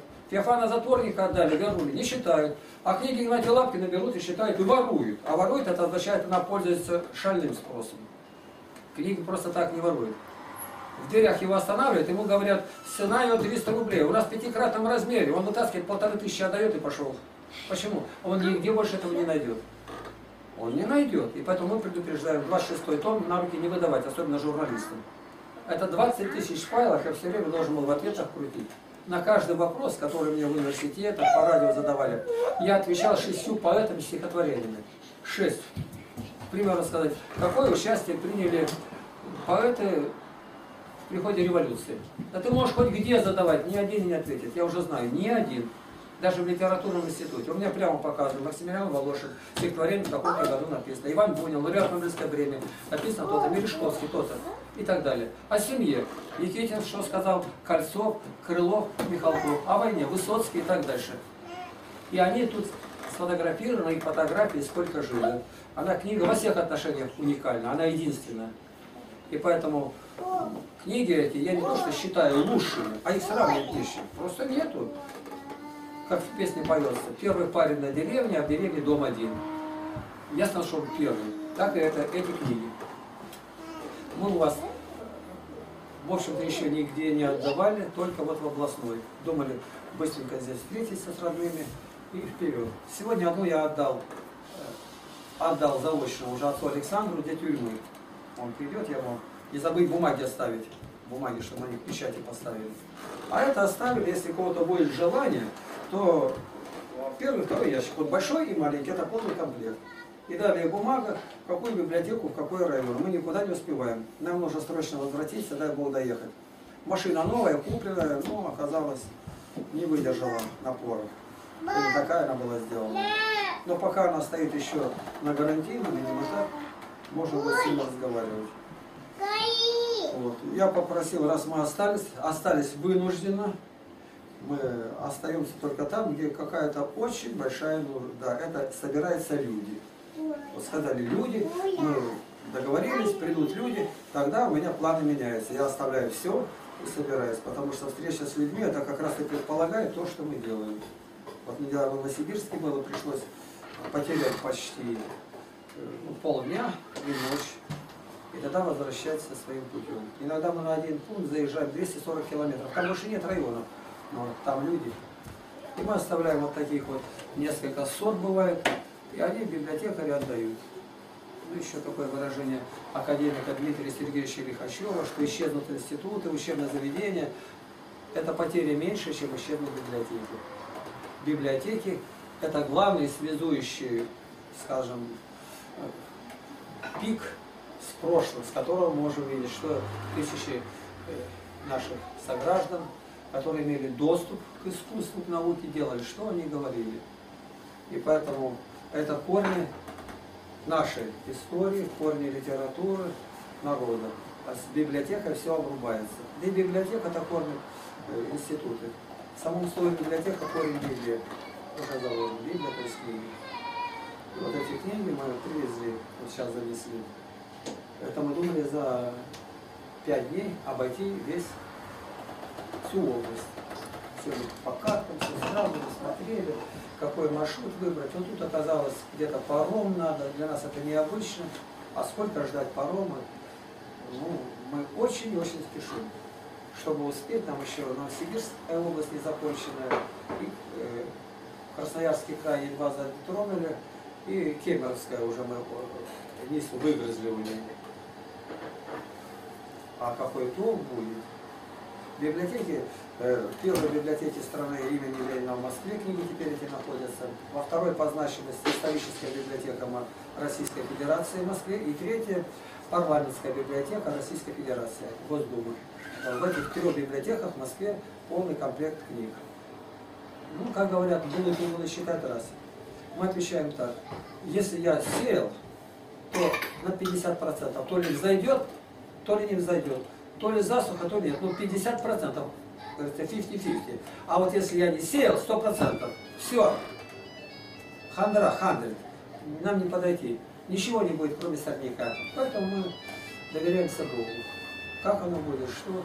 Если все будет благополучно, мы постараемся завтра рано выехать, заранее созвониться с сервисом и сходу влететь в него. Маленько тормознуть у себя дома, поставить кардан, который сняли, все чехлы, которые нашли, содрать, почистить ее и, и привезти. Ну а дальше дорога с адвокатом связаться, насколько реально обменять машину. Возможно это или нет. Потому что эта деталь, которая полетела, на 60 тысяч стоит, нам абсолютно не по карману. У нас вообще ничего нет. Нам на бензин, кто чего где даст, она как там живет. Это отечественная, она не экономит. Ну вот я попросил сестру Евдокию, она на три года моложе меня. Я Игнатий Тихонович, она Евдокия Тихоновна. Пригласить, кого она знает, там, через отца Александра Классина, священников, кого- у них там крестный ход сегодня. Я уже ей сказал крестный ход. Ну, хотя надо задумать, что означает крестный ход. У крестного хода пра родитель – это ход вокруг Иерихона. Когда крепость не сдавалась, вокруг нее обходили, Иерихон пал. Больше ни одного случая нет. Нету. А у вас же был этот крестный ход, да, у нас был, на строим деревню православную с нуля. Ну когда? Когда стали говорить, что везде будут в подворье вырезать куриц, птичий гриб придумали. Его никакого никогда не было. И чтобы эта чума от нас отошла, мы тогда пошли по деревне, в каждый дом батюшка заходил, кропил скотину, птицу, и все осталось, враг отступил. А у нас крестных, ну крестных он бывает вокруг храма, когда, ну а больше там, ну это занимает 5 минут, больше нету. А это это идут они сотни километров в чудотворной иконе. И я неоднократно встречался с этими паломниками, и сплошное нарушение постов. А путешествующим разрешено не поститься. А кто это сказал? Батюшка, он с нами ездил. Ну, поехали далеко, на поезде, а последний метр пешком. Батюшка, он сказал, да. И он пятницу ел молоко, да. Да. А вы не знали, когда батюшка мусульманство перешел? А при чем тут мусульманство? Да в Коране написано, почему вы его не знаете? Это в Коране. Воюющему, путешествующим нет. Это такая-то сура, такой-то аят. Я ее наз- называю. А у христиан этого нет. У христиан есть, что пост послабления. Во время поста разрешается елей, растительное масло и вино. Кому? Зело престарелый. Зело, то есть очень. э, Зело слаб, а, болеет, и зело млад. Вот такому вот. Но ему разрешено только вот то, что названо. Конечно, маленького вина уже не, не давать, а речь идет о пожилом человеке. Но мы придерживаемся того, что мы не зело престарелые, не больные, и посты строго содержим. Хотя я знаю, православные посты, они пришли намного позже, чем апостольские времена. Их не было, как вот сейчас завтра пост наступает Успенский, в честь Успения, смерти Божьей Матери. С чего ради? Вот Масленица. Вы происхождение Масленицы не знаете. А царь Ираклий воевал против персидского царя Хазроя и дал обед, если, и дальше, я сумею победить, а сам 6 лет воевал, то я неделю не буду есть мясо.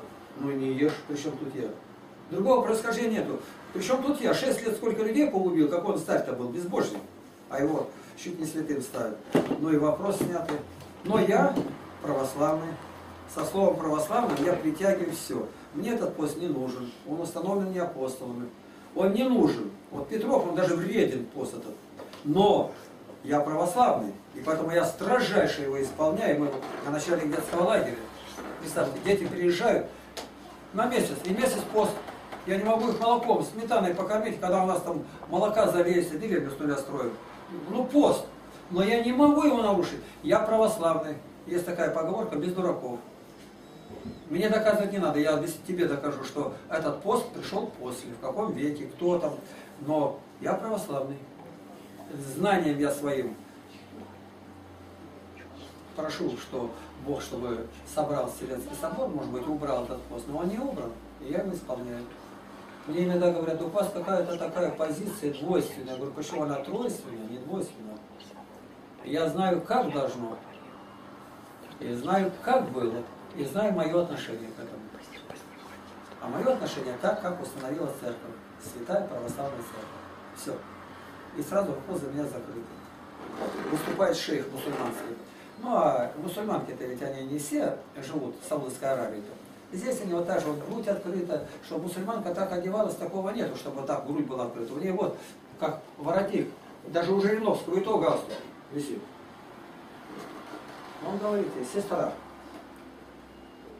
ты желаешь понравиться кому-то, юноша, но ты сегодня умрешь, через два дня с тобой в жаркой могиле твой желанный сидеть не будет. Она собралась по поводу, девчонке 13 лет. И она побежала, отец ее остановил.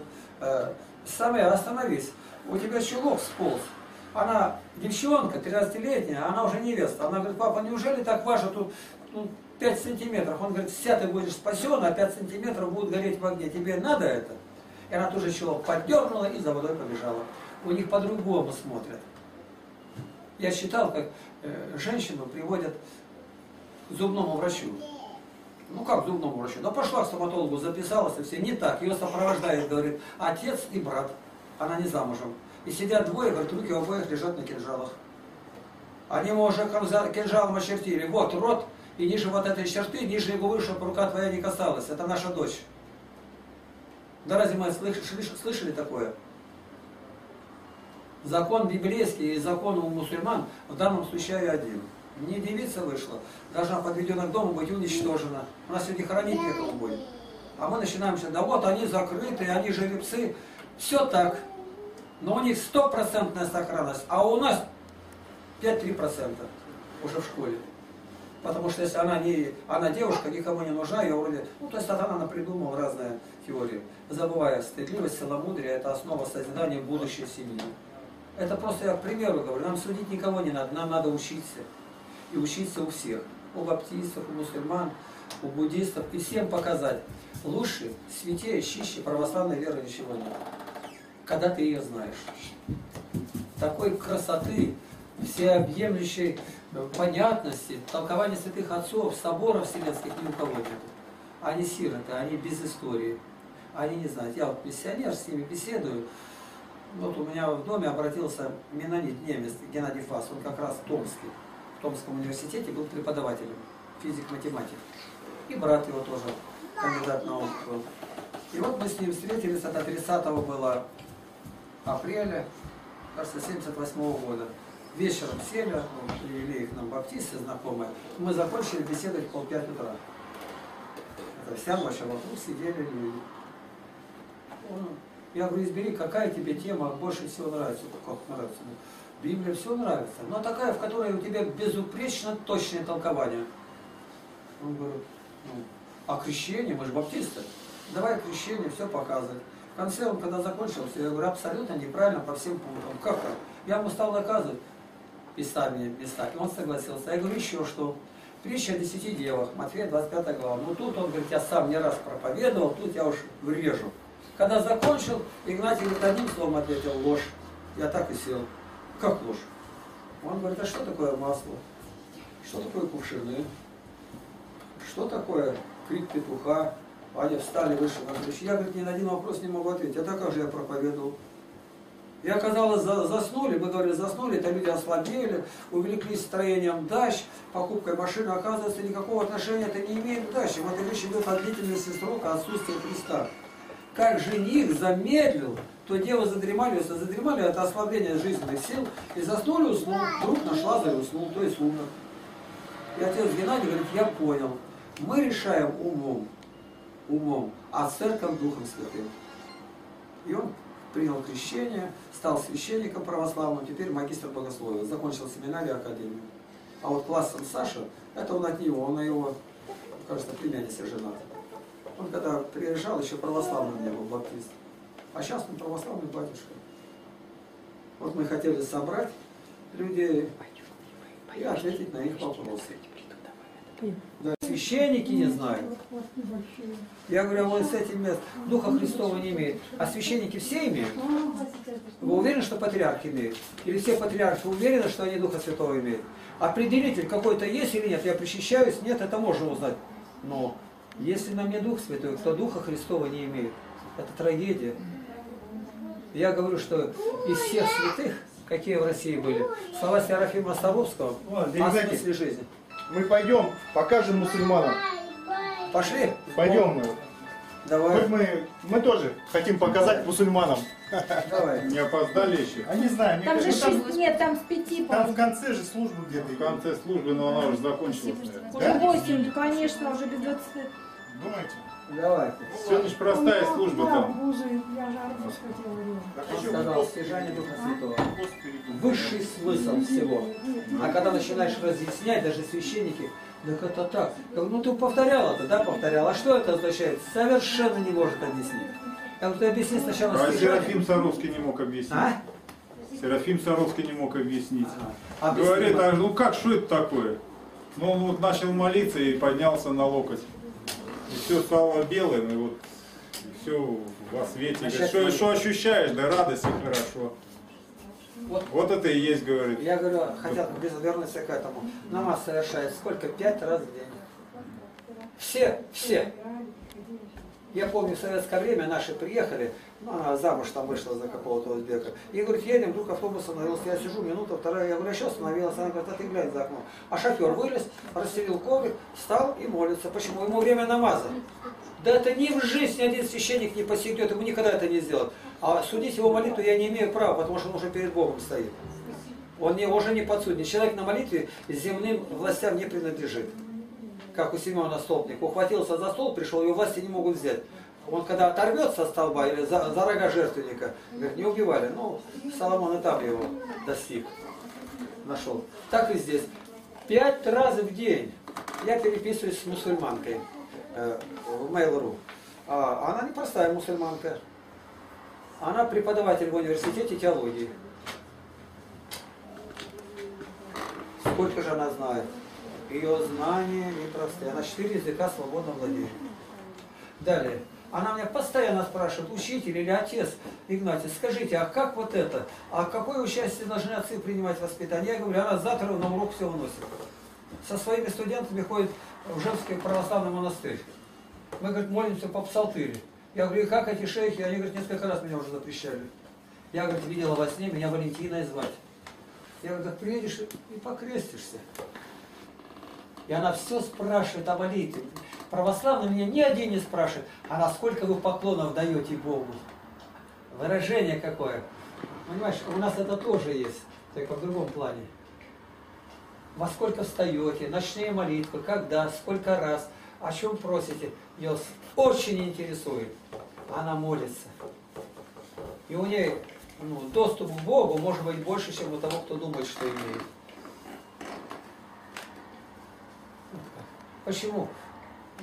Все-таки это что-то значит. У нас дисциплины никакой, даже вообще такого слова нет.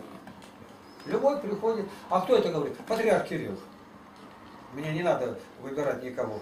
Вот он вернулся с Дальнего Востока, и ответ газеты печатает. Патриарх Кирилл сказал, состояние церкви тире духовные развалины. Я оспаривать ее не могу.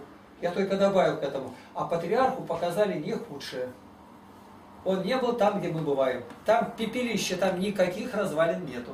Там дымящиеся угли Освенцима. И это все православное.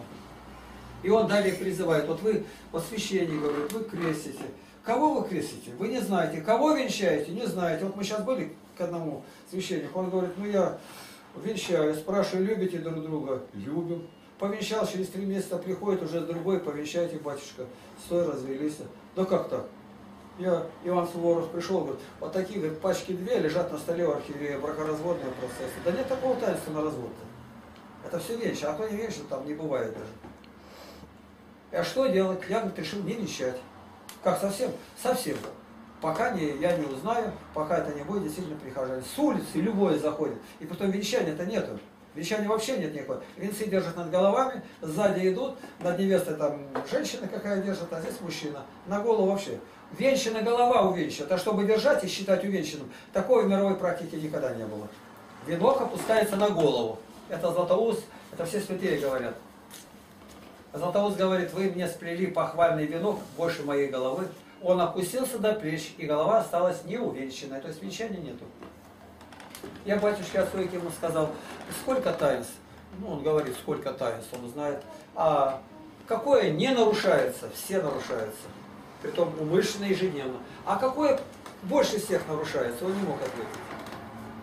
Из семи таинств какое-то постоянно злостно нарушается, а оно тянет все остальные. Понимаешь, эти вопросы, их просто необходимо сегодня говорить. И когда люди стараются обойти этот угол, ну как кому нравится, это плацдарм для того, чтобы оказаться в аду. Мы один раз решительно должны проскрести себя. Патриарх говорит прихожанам, вы подходите к батюшкам, попроситесь к нему на чашку чая. Вот к тебе приходит один прихожанин, другой. Сближайтесь со священниками. Я им говорил, а они к вам не идут. Ну народ, начинайте двигаться обратно. Это патриарх Кирилл говорит. И считать, что патриарх Кирилл не понимает обстановку, я думаю, наивно. Он говорит, я посылаю монаха на север. Может, слышали? А он монах мне отвечает, там кислороду мало. А он сурово так да какой тебе кислород? Ты же монах, ты приготовился умирать. Какой тебе кислород? Это ответ. И посмотри, те, которые посылают миссионерами, мормоны другие, на любой остров, он не имеет, он пришел, он и говорит, 18 лет, закончил школу, там, в институте учусь, решил жениться. Молодец. На два года на миссионерскую работу на острова Фарерские. Все. Два года. И там будет видно. Ни один не женится, пока два года миссионером не отработает. У нас вообще никаких правил нету. Ты никого не знаешь, а они тебя, ну, бабушки некоторые. Правила. Что вот я имею опыт в этом, где бывает, начинаю говорить, в каждой библиотеке это бесед, собеседование идет. И спрашивают, как принимают? Отвечаю, по-разному, но провожают везде одинаково. В течение 20 минут совершенно по-другому. Вот она придет, даже не надо, это не считает, я знаю своих читателей. А дальше, давайте документ, я подпишу сейчас. И дальше начинаем разговаривать, улыбается, выходит, фотографируется директор. Притом это все заснято. Легко смотреть. Какая причина? Я нахожу только одна. Мы без хитрости получили, без лукавства отдаем, и Господь касается Духом Святым. Это человеку невозможно. Я когда батюшки спрашивают, а вот вы говорите, не хватает решимости Серафима Саровского. Ну какая решимость? Я службу веду, вот сейчас у одного были. Ну хороший батюшка, прям не могу сказать какой. Я говорю, вот смотрите, вот человек, и у него есть свои я, это я просто опыт такой показываю. Вот это вот, я люблю вот это, вот это вот люблю поспать, вот это я смотрю, что нравится архиерею. Дух Божий веет на воду, Дух Божий не может проходить здесь, ему это, Дух Божий только тогда идет веет, когда все склонилось, перед, преклонится всякое колено небесных, земных и преисподних. Вы бесталанные, поэтому вам ничего не написать, не, не сделать. Почему? Бесталанные, потому что, знаешь, как обижаются. А почему? Я говорю, дух, где Дух Господень, там свобода. Где Духа нет, а Дух Божий не может. Так вот, а тебе не нравится? Ну, ладно, Дух Святой пойдет тебя, он дальше вообще учить не будет тебя. Где Дух Святой верит, он отвечает как порог, что скажет Господь мой Бог, то я и скажу. Бог сказал, я обязан сказать, пойти патриарх, пойти Ироду сказать, обличить его беззаконном сожитии. Нравится, не нравится, голову отрубит. Вот это и есть пророческое служение. А они не примут. А вот об этом тебе не надо рассуждать. Ответственность Бог берет на себя. Моя задача быть верным. Быть верным во всем. Поэтому, когда я даю книги, я библиотекарь говорю, книги написаны именно так, где я в глаза людям не заглядывал. Патриарх это, батюшка или родной брат. Я сказал все, что говорит Библия. А почему уверена, что вы правильно говорите? Да не я говорю Библию. Недавно епископы собрались и начали меня судить. Судить, конечно, подбирается под книги. А наш епископ Евтихий говорит, это безуспешно. Игнатий сугубо православный. И книги его, они недосягаемы, вам ничего не сделать. Я тоже вроде пытался. Они все на Слове Божьем, на канонах церковных, на житиях, на святых отцах. Отцу Акиму очень часто бывает священники подкусывают. Вот он написал, он говорит, в начале и в конце книг адрес. Ну, по- позвоните. За 10 лет ни одного звонка, за 10 лет ни одного письма. В епархии были, я сказал, вот, изберите самых злобных священников, самых ненавистных, ненавидящих меня, и вызовите меня, я перед ними предстану один. Я бросаю вызов вам. Вы за углом только шипите, а сказать еще не можете. На днях, ну прям на днях, вот может быть, неделю-две назад, отец сам Суворов. Э, Книги там дал кому-то читать или что-то. А, а те библиотеки, регион сказал оставить. У меня все без задоринки идет. А у него там и она, а, как церковь, а как то, и отдала. А в епархии стали исследовать. А кто же, интересно, с церковников ставил в мирских библиотеках быть цензорами? Это вообще безумие. Это не теократическое государство, во-первых. И для... А почему именно не баптисты? Почему не адвентисты? Для государя мы все одинаковые, они законопослушные граждане. Они не понимают, что творят. И вот там держит неделю, вторую приходит в библиотеку, говорит, ну книги-то принимаете или нет? Мои книги. Они говорят, епархия еще не отдала. Я говорю, доктор, верните хотя бы мне книги-то. И наконец епархия его вызывает на ковер. Священники собрались. Не знаю, епископ был, нет, епископ, кажется, тоже был. Ну вот он Игнат. Не могут назвать фамилию, Лапотников там называют. Ну хоть фамилию-то мог запомнить-то. Явно, что они или не считали, или мозги отшибло. Да он, он говорит об одном архиерее неуважительно. Он говорит, о каком? Гробовое молчание. Ну где тут архиерей-то живет, в какой епархии? Ну вы, сколько вас было? Пять священников. И вы пятеро все это с центрами были, да? Ну одного-то назовите хотя бы, нет? Я говорю, знаете, это несерьезно. Настолько несерьезно, даже разговаривать не о чем. И на днях у него там э, храм во имя Смоленской иконы Божьей Матери, и архиерей, митрополит присутствовал. Кажется, Константин Звязков. И батюшка ему звонит, ну и как? Чего как-то никогда ничего не было. То есть ничего нету. Ни звука. Я это очень хорошо знаю. 10 лет это уже срок достаточно, чтобы прищищить. Показать, что не православие. А наш архиерей говорит, это не удастся, это бесполезно. Вот. И поэтому, где нет вот, священников, мы отдаем книги по районам, везде, везде, как сказать, благополучная среда. И даем вот такие вот, чтобы раздавали. А берут ли? Берут, считают. Собрались священники, и я с ними сижу недавно, э, там, под Москвой. И говорят, вот скажите вы сами, вот это справедливо или нет? Думаю, что же они такое выкопали? Мы отдали книги, нам их вернули. Игнатия Гречанинова считают, 8 томиков отдали. Сказали, в течение года ни один ее посетитель не взял. Что совсем? Ну, откроет, посмотрит, поставит и больше. Вот. Феофана Затворника вообще не считают, говорит. А что вы давали? Называется серьезные труды. И что? Ну, вернули. Я был у говорит, вчера все книги вернули наши. А Игнатий Лапкина считает и ворует, ворует книги эти. А ворует только те книги, которые спросом пользуются которые нельзя достать. Это однозначно. А что воровать, если оно везде валяется? А почему Игнатий Лапкин считает? Я отвечаю. Потому что у него Феофан Затворник, у него Игнатий Причининов, у него все на приближенных сегодняшним дням. Они заговорили, а они, не меняя ничего, сегодняшним языком к сегодняшним человеком. А вы этого не могли сделать. Тогда не злитесь. Спрашивает, а зачем вам это нужно? Вот сейчас мы проехали, вот уже на полтора миллиона только подарили. Я говорю, мой народ, моя страна, другого мне не дано. Мне это Бог дал, я отдал. Вот. Они прям тут же при нас скрывают сайт, заходят и про нас забыли, что мы тут сидим. Мы говорим, бумагу надо подписать, они там залезли, а там море, 1300 тем. Тем. Там отдельно миссионерский отдел. Как, с какой сектой, как беседовать там в иконах о Божьей Матери. э, политика там. Там ну все абсолютно. Можно это достать? Можно. Вот только сюда зайди. Зайди, а в него щелкни, и ты, ты уже на форуме. Мы пока другого способа как-то открыть людям э, образ Христа не имеем. Просто, не знаю, мы нашли вот такой способ. Привлекать библиотеки, библиотеки этому содействуют, распространяют, люди приходят, берут. Притом бывает в библиотеке на скудном пайке и говорит, могут даже закрыть. Но это уже конец селу. Я сразу иду в администрацию а, района, района, а у них там совещание. Я открыл дверь и вошел, говорю, простите, мне нужно сказать. И начал говорить по, э, о цели нашего приезда, как мы действуем. Я говорю, у вас есть представитель по связи с общественностью? Есть. И он его тогда отсылает, извините, у нас совещание, тут идет утреннее. Но по-хорошему улыбается. Он пришел, а я продолжаю дальше. Библиотекари, читатели пришли.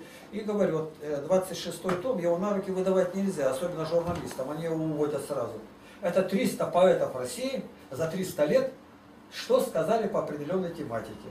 Допустим, о революции, о семье, о, родине. И на каждый вопрос, который мне задавали, 6 поэтов. 6 поэтов из 300-летний период. Вот. Ну, я не скрываю, что без Евгения Тушенко я бы просто не одолел этот материал. Это 20 тысяч файлов, я должен был вот так вот молниеносный в голове крутить. И кратко даю аннотацию. Это 20 том, это мои беседы с Александром Менем. Их нету, и за миллиарды не купишь. Его нет, его убили.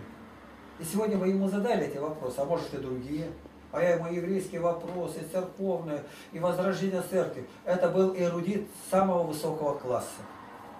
Ну, это и так понятно. Это был энциклопедически э, выпаренный буквально из этой среды человек. Глубочайшие его знания, я не раз пользовался его словарями. И вот мы с ним беседуем, в частной беседе, дома сидим, на магнитофон наворачивается. В одном месте видно, как он вот так вот сцепил магнитофон. Ну, интервьюер у меня сегодня. Э, какие вопросы я там был бы, если патриарх еврей, как бы народ реагировал. Он сам еврей, я говорю. Я говорю, а что такое мень? Он говорит, это рыба налим. Такая скользкая.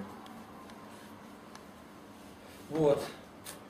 И, значит, э, просто баптисты едут так же, к нам приезжают по Теряевку, там миссионеры приехали, я вышел, два солидных, толстых человека. Э, я говорю, а кто вы будете? Мы баптисты, отделенный совет церквей. А что? Ну вот миссионерство. И что же у вас есть? Две маленькие брошюрки какого-то там, и все, иностранные слова. И два, кажется, диска, песнопения. Все. А я им подарил полностью Новый Завет, вот это полное толкование с апокалипсисом отца Геннадия Фаста. Э, там, для Слова Божия нет уз, еще что-то. И вот мы к ним туда приехали, откуда они табуны ни под каким видом встречи нету. Ты сама знаешь, с мамкиной, своей теткой баптистской, даже телефон не дали э, пресвитера. Вот тебе православие. Православие заговорило, и все попятились. Андрей Кураев его спрашивает в интернете, а кто такой Игнатий Лапкин? Ну, у меня был книги все брал. Ну и дальше Андрей Кураев. Его мнение, может, не всем понравится.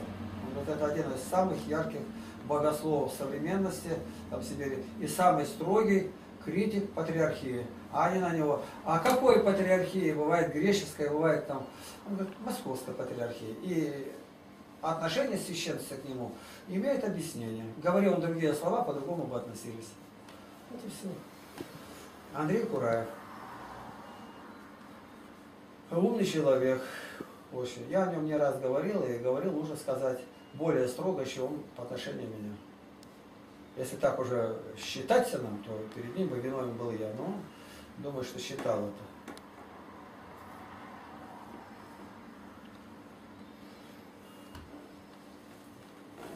Вопросы у вас какие есть? На днях, когда у Романа были, встретились, а Роман пригласил, этот племянник наш, сестры моей сын, и он стал старобрядца. Пригласил 11 старобрядцев, 11, 15, 15 старобрядцев. А я сказал, меньше 10 будет, я не приеду, слишком далеко. И мы весь край, заканчивали край, перешли на Сибирскую область, по всем районным центрам. Встречи со священниками, дарим. Вот сегодня отцу Александру я ящик подарил Евангелия от Иоанна с, с римлянами вместе. И второе, э, карманное Новое Завет, псалтыры, синодальные. Если вам нужно, я вам сейчас выдам, только увезите. Все, мы разгрузились.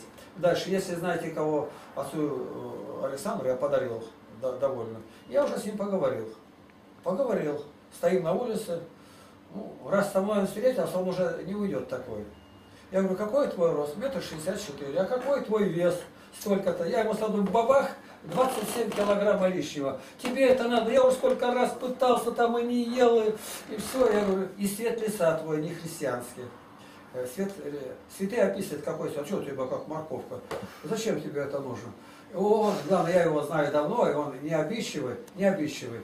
Э, Не потому, что я ему много дал там чего-то, а потому, что он сам по себе человек. Да я вот не знаю как, что я знаю. Я знаю. Четыре причины, почему человек толстый. Давай, загибай. Первое, самое натуральное обжорство, лишние калории. Давайте, первое, пройдем сначала. Второе, лишнее не переработает, потеть не будет. Это- Третье, я да, не закончил. Гормональный сбой Да, бывает. так я не закончил. Это на гармонии потом будете играть. Третье. Третье. Лишнее спанье, многоспанье. Днем прилечь, сальса. И четвертое, беспечно. Все. В голову друг другу четыре причины, они из тебя сделают медведя лежащего. Ко мне приходит в гости э, э, епископ Я, Антоний я вот сразу как бы здесь скажу. А? Э, У меня было два друга, мы в институте вместе учились, и потом на заводе работали вот уже на инженерной должности. Один был такой плотного телосложения, а другой был вот, ну, совсем худющий. Вот этот вот худющий, он, правда, помер уже. Ну, помер по пьянке, там, это, ну, лет 30 с небольшим ему было тогда, замерз. А, Ну, худющим он так и остался. И вот мы придем в столовую рабочую, значит, плотный парень такой толстенький, брал одну котлету и не доедал. Я две брал, тот четыре, ему мало было. Вот и, все. вот и обжорство. Нет, это что четыре котлеты. Во-первых, котлеты, я скажу, что лучше не брать ни одной. Ну, я, Я просто, так, говорю. я делюсь опытом. Я с этим соглашусь, тем более столовый рабочий. Ну, В Китае казнь была возведена в искусство. Они придумали разные виды казни. И одна из самых страшных была кормить одним мясом. А чего человек в страшных мучениях умирал. Вот и все. Мясо. Почему э, Антон э, Павлович Чехов, когда у него брат был Павел Павлович Чехов, он говорил на всех, кто ест мясо, трупоеды. И он все это посмеялся над ним. Я вот не ем больше 30 лет, вообще в рот не беру. И никакой нужды нет. Раньше писали, такой журнал был, э, у нас какой-то журнал здоровья, а то был журнал здоровья мира. Это ЮНЕСКО ООН выпускала.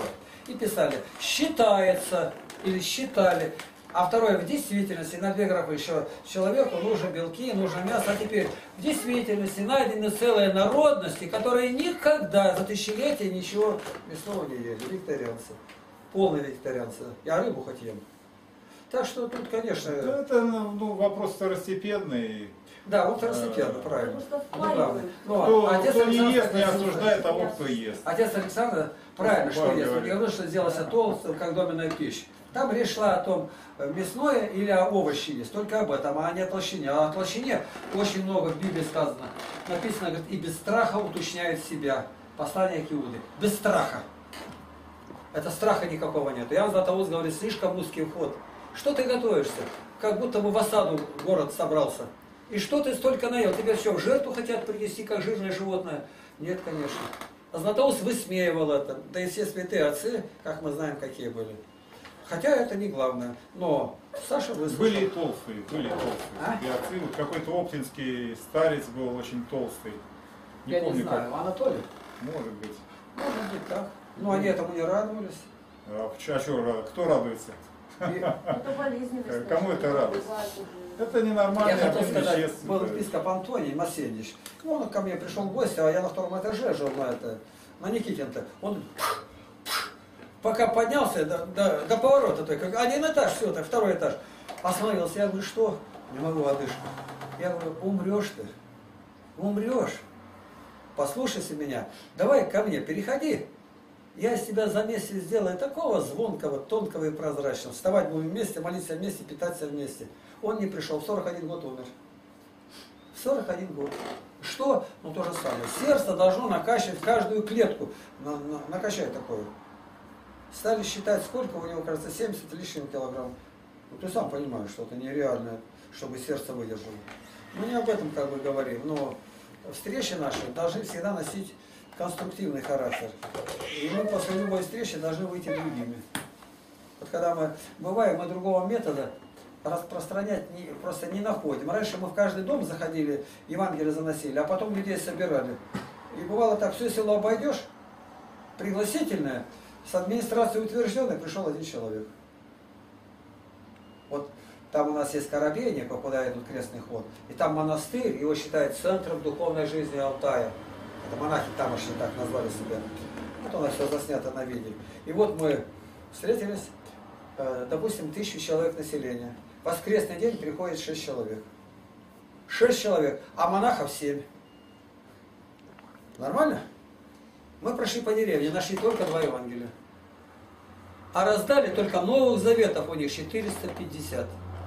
Это пустыня одна. А что они говорят на это? Они говорят, да вот до нас были монахи, они вели себя так, там неадекватно, разные слова набирают. И поэтому в народе такое негативное отношение.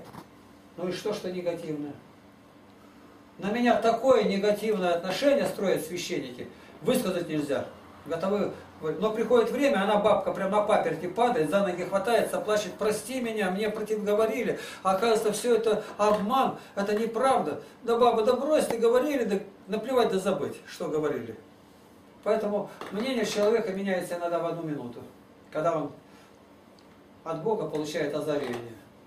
Так говорят, не говорят на это, никакого внимания не надо обращать. Мы вот едем, и бывает так, заходим, где-то библиотека, а она сразу, так это ваш сайт там вот библейский, я говорю наш, она, вы постойте маленько, она побежала по этажам, всех работников собрала, буквально аудиторию, послушайте, кто к нам приехал, ну тут уж моя стихия, тут я разворачиваю, каждую книгу объясняю.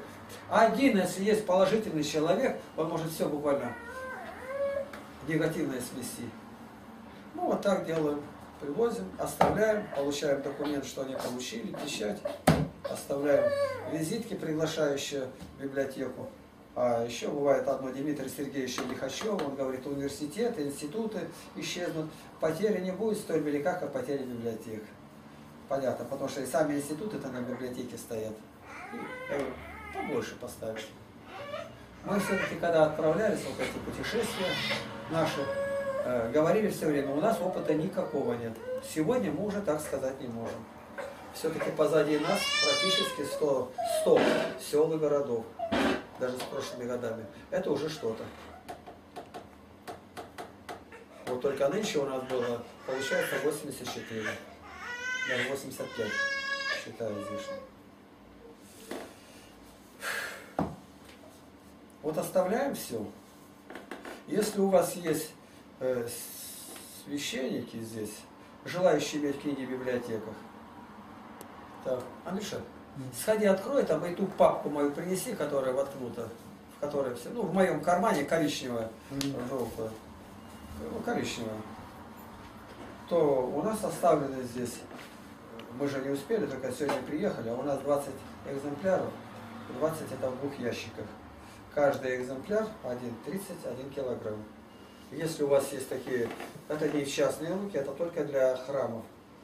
А для храмов у меня сегодня уже папочка набирается, в которых храмах оставляли, они рады раскладывают, сразу разбирают и, и похвально. Дуся, Богородица Российский монастырь, библиотеку принесете? Возьмут. Ну вы принесите. Я с этим не разговаривала, с Васильевной, а отцу Амросию давала я открытым оком. Истинному православию он передал, а это не взял, везде дали. не взял, Последний вот этот. Не взял? не взял, он побоялся. На него так что-то там давление.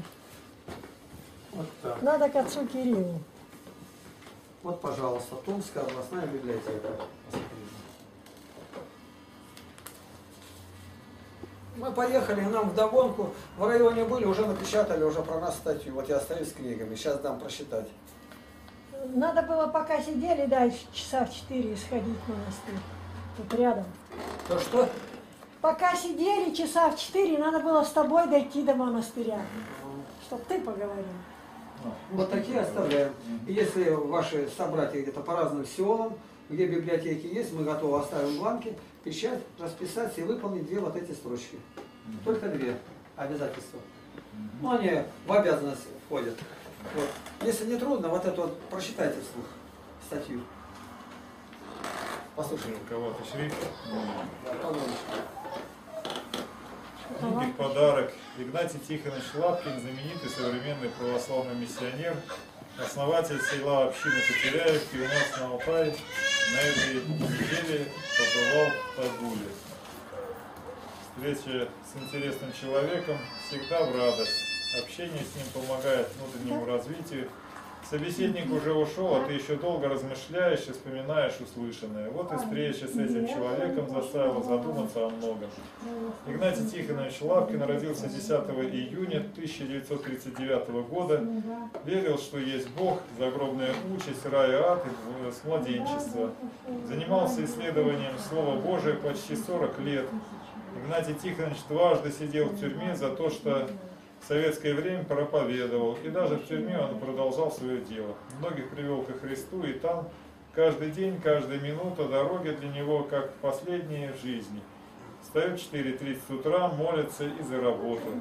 И так каждый день. Издал 38 книг.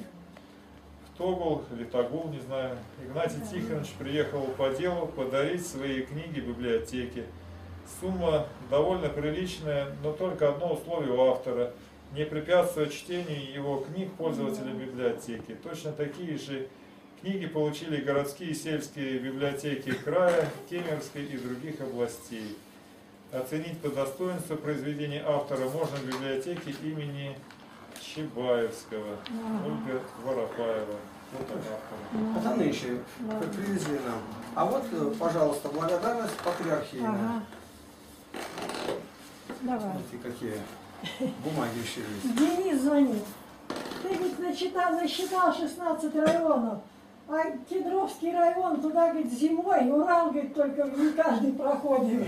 А, Нам летом, сказали уже это. а летом вообще, говорит. Ну, мы теперь никуда не можем. Да, он прав. Нет, а он говорит, если, говорит, сервисная книжка с собой, то и здесь можно будет. Это нам сказали, но все-таки сказали, лучше вернуться домой. Ребята советуют, и горы все. По сервисной книжке они могут. Но речь идет об обмене грузовика полностью. И вот мы где были, вот посмотрите, это только часть церквей, которые получили книги, ну, на бланк, бланк один. Денис, ты разговаривал дома был, а сейчас он с Молчанова выехал, едет. Вот где смотрели, куда вы хотели ехать, он уже оттуда сейчас. Значит, 51 район и небольшие города Алтая прошли. И вот э, Куда вы, в какие села-то собираетесь? В какие села собираетесь? какие села? Ну, вот сейчас. Сейчас. Ну, мы сегодня по карте посмотрели. Все районы центра Томская область. Но застучал у нас кардан, и вот видите, пришлось разгружать. А вот первая библиотека страны теперь имеет имени Ленина. Ну, Вот. А, Ну, это щас. сегодня мы были Юрга, это в Кемеровской области. Вот. Вот это считается вторая по значимости библиотека страны, историческая библиотека Российской Федерации. Вот. Третья у нас здесь есть. Сейчас я покажу. Вот, вот. Посмотрите. Рязань. А. Красноярский край. Вот. Москва, парламентская библиотека, Госдумы. Это если они на, на ее все-таки наткнутся, им есть что там будет посчитать. Самые большие библиотеки, какие я видел, видимо, я сегодня так подумал, это Тюменская. И очень большая здесь. Здесь хорошая библиотека. Ну, посмотрите, Ну, Пушкинская библиотека. Центральная хорошая. библиотека, вот это Тобольска. Вот это огромная, это Омск, Тюмень. Хороший город. Видите, Одно свидетельство по большим городам. Теперь, когда я где-то бывает, это мне нужно вызвать доверие, что книги не экстремистские. Указания давно экстремистские, экстремистские, а Да. вот книги эти ни, ни к числу экстремистских не причисляются. Ага. Все они находятся в библиотеках страны. Ну и если бы благополучно было, вот видишь, Здравствуйте. Батюшка, идем-ка сюда со мной. Съемка не прекращается. Давай. Вы можете без съемки что-нибудь делать? Или все только со съемкой? Да, пусть снимает. Пойдемте сюда, я вам сразу покажу, а то я уйду и бумагу дам. Мы по телефону тоже поговорили. Для его тюрьмы. Вот, смотрите. Вот здесь вот, только мне надо ручку дать, чтобы я расписался. А вы там поставите в учреждение печать, и что вы выполнили. С вашей стороны к выполнению подлежит две строчки. Так, издательских книг. Указать учреждение, область и все. Возьмите. То есть это все библиотеки э, фактически. Основные библиотеки страны у меня уже здесь получили одинаково. Так, я сейчас показывал. Вот Томская областная библиотека. Посмотрите, какое. Такое же самое. Вот их печать. В городскую мы не успели с машиной. С машиной у нас не лады. Мы разгрузились и уезжаем на реке завтра утром рано. Сказали, сервис Понятно. можете здесь. Но представьте, деталь только до 60 тысяч. Ну да. Нам вообще не по... да. и это даже говорить не надо. Вот сюда зайдите, я покажу вам.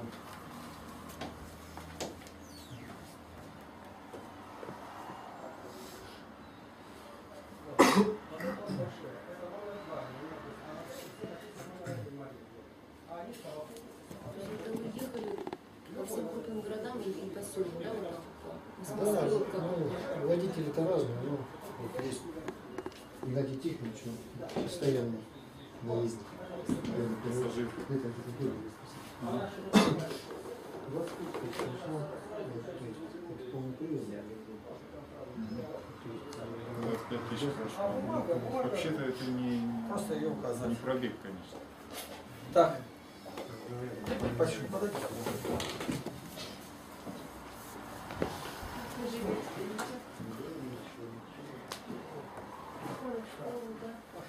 Пошел, говорит, пошел, номер первый.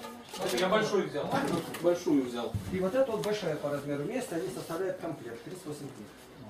Вот они отложены. И вот они, это 31 килограмм. Э, Размер полки метр сорок.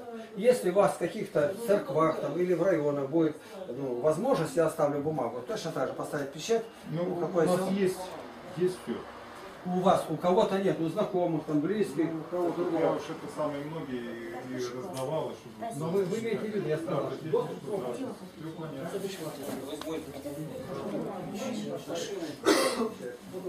Если комплект берут, то... Бер- Беру, вот так. А без комплекта вообще ничего нет. Хорошо.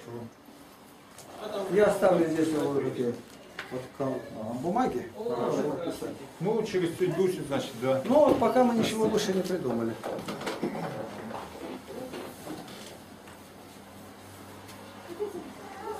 Ну, батюшка, мы убедились. Встреча, где была с сектантами назначена. Какой на них страх находит. Все руководство категорически никаких вещей везде запрещает, и что даже ни одного слова не говорит. А одни к нам приезжали, мы их одарили такими дарами, и к ним же приехали, даже на встречу не пошли. Все-таки православие великую силу имеет. Даже Осинники, а Алевтина, там ее сестра, даже не дала адрес действительно телефона. Что ты говоришь? Тут уже все проверено.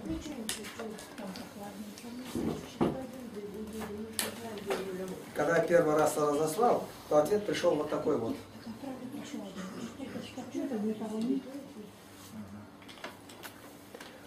Финансирования нет, приобрести не можем. И тогда я принимаю решение, ну это все одинаково, на голодном пайке держат.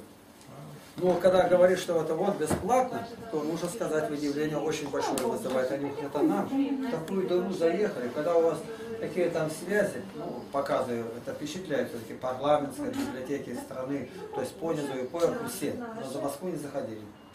У нас даже мысль была такая на следующий год. Зимой э, тонн 8 туда 7 заслать в центр России, а весной туда приехать.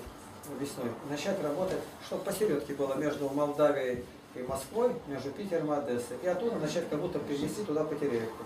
И так начать так же, как эти города обходили. Мы до Байкала дошли дальше. До Свидянки.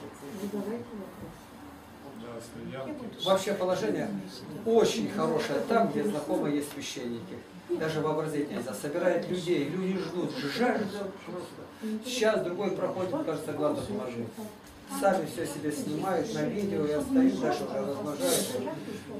Ну, мы работаем, мы не знаем, чем и как он. Это все еще поливающие ничто нуль. Мы пока, говорит, на нуль, на нуль, но мы видим, просто видим результат радости. Даже то, что мы живы, то, что приехали. Идут и идут сектанты, и вдруг православные. Где вы были раньше? Все один и тот же вопрос задают. Ну, приходите ко мне на службу, я вам дам слово. Да я пастырей. знаю вашу любовь к слову. Как я говорил, был у этого Кирилла Сахарова. Вот я вам приготовил стихарь, я говорю, я не говорю, уже два года проходит. Ну я же народ предупредил, я говорю, за обедом, будете, я тогда скажу. Но в храме была такая обстановка, я ему записку послал, батюшка, у вас необычная обстановка, и я готов выйти.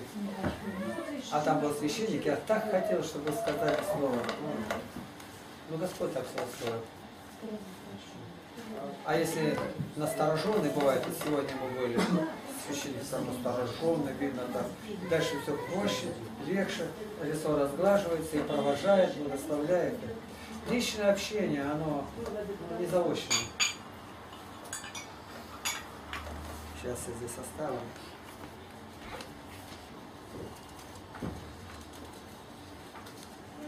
Мы внезапно изменяем маршрут. У нас поломка обнаружилась в машине. Это настолько для нас, во-первых, и неожиданно. Я отца Романа при- привел.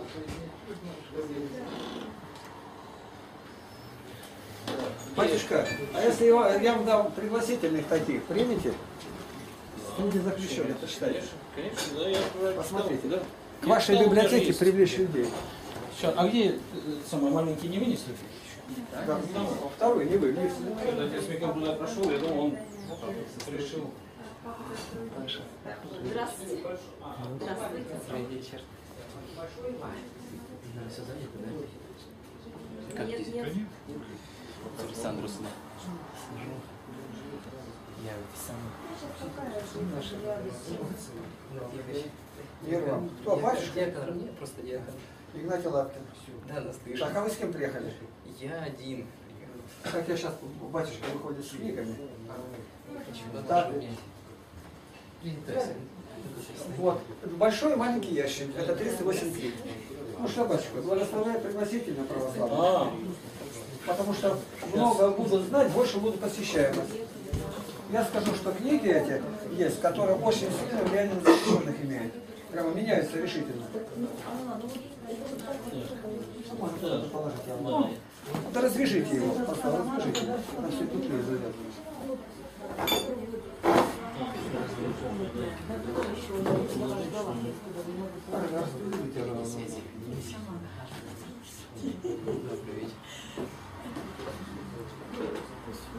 Даже вот это, знаете, то 16 тысяч. Но все оправдано, если одна душа покается.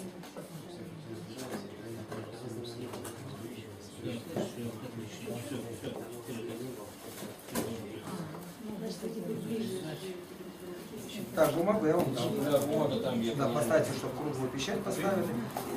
Четко, ясно написать, кто берет, и расшифрованная подпись библиотекаря и число. А представь вот есть кого тут наши деды. Так, мы уже тут разговаривали. Вновь пришедшие. Может, у вас какие-то вопросы есть? Я пока хотела бы просто послушать. Башка, сядь поближе, будешь переводчиком у меня. Переводчиком, а я что, мы по-русски говорим? Я кое-что не слышу. По-русски говорим, что мы? Ну а как по-русски? А знаете, я когда в суде суд шел, то все время рядом сидит со мной человек, который к судебным делам дела не имеет, чтобы озвучивать. озвучивать. Бывает там сурдопереводчик, а мне просто нужен рядом, чтобы. Называется шепотная речь. А Что за в вопросы? Волгограде, а Волгоград вы проезжали, нет? Нет, не проезжали, а это ниже. Если только Господь благословит, задумка-то пока задумка, то А там просто мы были в Волгограде, интересно, вот храм, я, честно говоря, сейчас забыла. Ну, мы так пришли, вот, интересно, вот, им отдали как бы этот, не храм, а как бывший дом культуры. И почему-то там вот не на восток, получается, алтарь, а на запад. Там, Да. раздел- И там пошло разделение, то есть прихожан. Тут они стал Андрюша, ходить. ну лучше спроси синие Ну, можно так, или вот. синие чернила. Люся, щи- синие чернила, В да? Почаевской лавре там один храм срисуем. в одну сторону стоит, другой в другую сторону. То есть это не важно, да, что делать? Ну не то, что не важно, традиция на восток строить. Ну, Ну, да. приблизительно, туда-сюда 30 градусов считаю. А там просто вообще просто вот все. Ну, у меня подруга осталась там, ну, собственно, говорит, ну как, в общину, мы ж ходим, вот, и как уж уже и батюшка объяснил, что... Это ну, не да, самое да, страшное да. нарушение, Ну, ну, наверное. А кто-то посчитал, что вот это вот...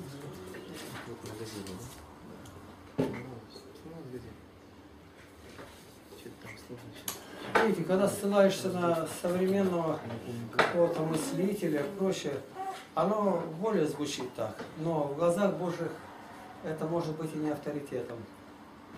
Православно не приучено за авторитет считать слово живого Бога. Вот это не просто беда, а смертельная беда. У нас нету осмысления того, что заложено в Слове Божьем. Мы просто привыкли, даже баптисты считающие, а, говорит один, прочитал, другой там исказил, слова выпустил. Так не идет. Вспомните, самое большое в мире искушение было не человека, а человека Бога, Бога-человека, Христа. И сатана приступил с тремя вопросами, Достоевский их разбирает, братья Карамазы. Это все искушения мира соединены были в эти три вопроса. Это власть, авторитет, чудо, первое начиная с чуда.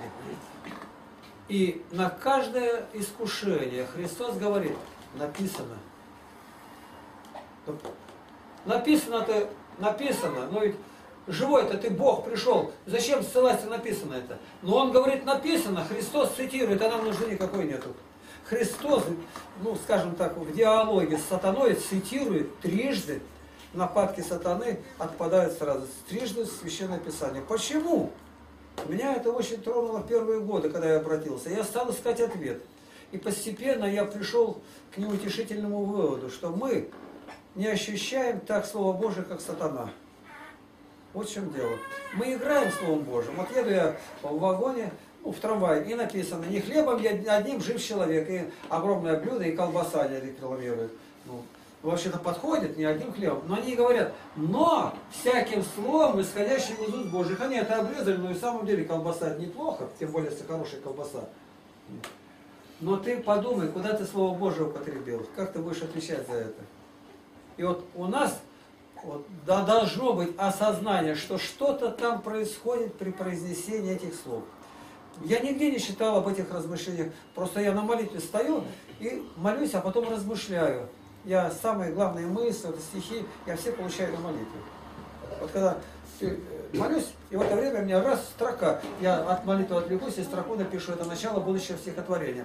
Скажет, Нина, нельзя так. Ну нельзя, но у меня именно так вот есть. Я кое-что правила, на чем считал, и строка появилась. Я заново начинаю читать эту молитву, но эта мысль, когда я закончу, посмотрю, а она от меня не ушла. И на ней я тогда строю полное стихотворение или проповедь. Она пришла во время молитвы.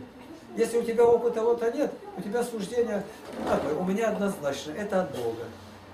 И когда сегодня я читаю свои стихотворения, которые таким образом написаны, а все они по 9 куплетов, я с таким удивлением читаю, первый раз их вижу.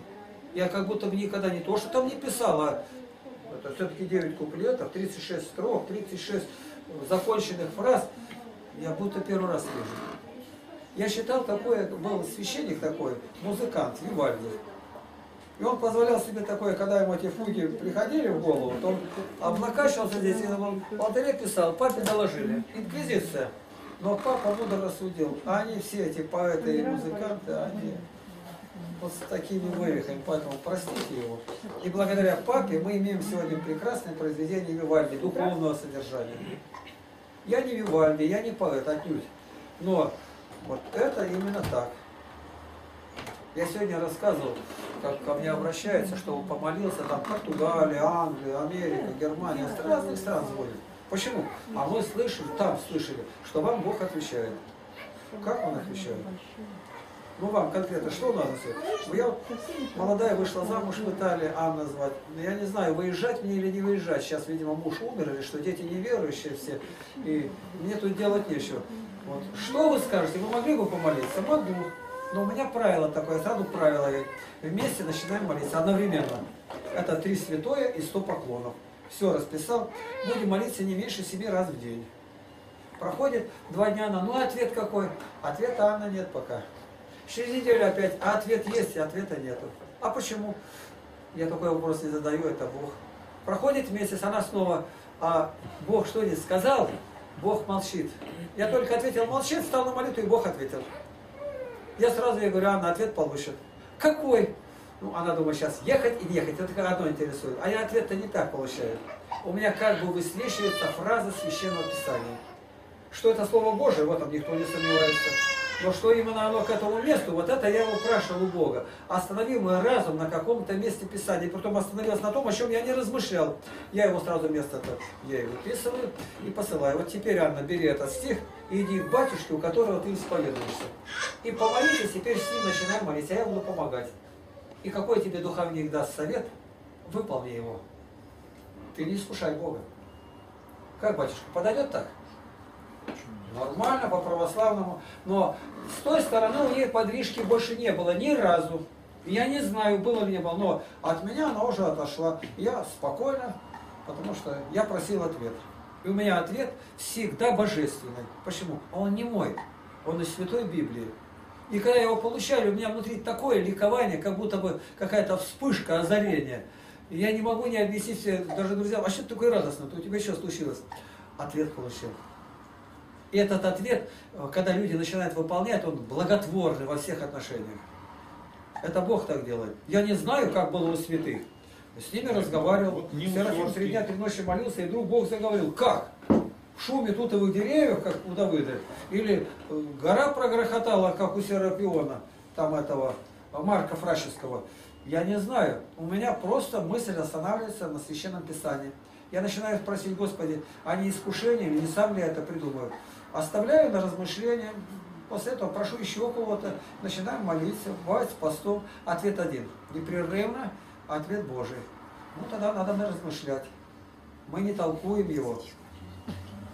Мы ищем ответ в самой жизни.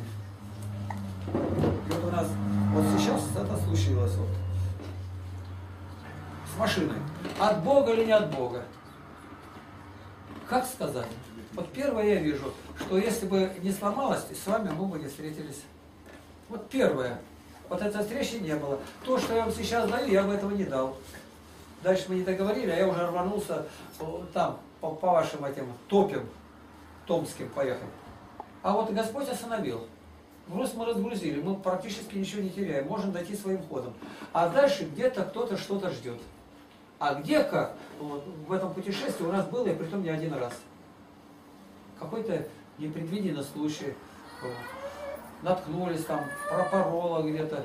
И, а после этого начинается встреча с людьми, которые связаны с ремонтом. И началось свидетельство, а я бы прошел мимо. Как в тюрьме. Я бы никогда не встретил этого следователя, если бы я не попался. Но вот этот следователь принял крещение с полным погружением. Начальник тюрьмы меня постоянно вызывал и все спрашивал о личной жизни, обо всем беседовали. Потом мы с ним перезванивались, он пошел на пенсию. О, дорогой мой, у него другого не было. И после, когда он отошел уже, я жену спрашиваю, как умер по-христиански. Что на него повлияло? Наши беседы, я не знаю, но беседы были прекрасные.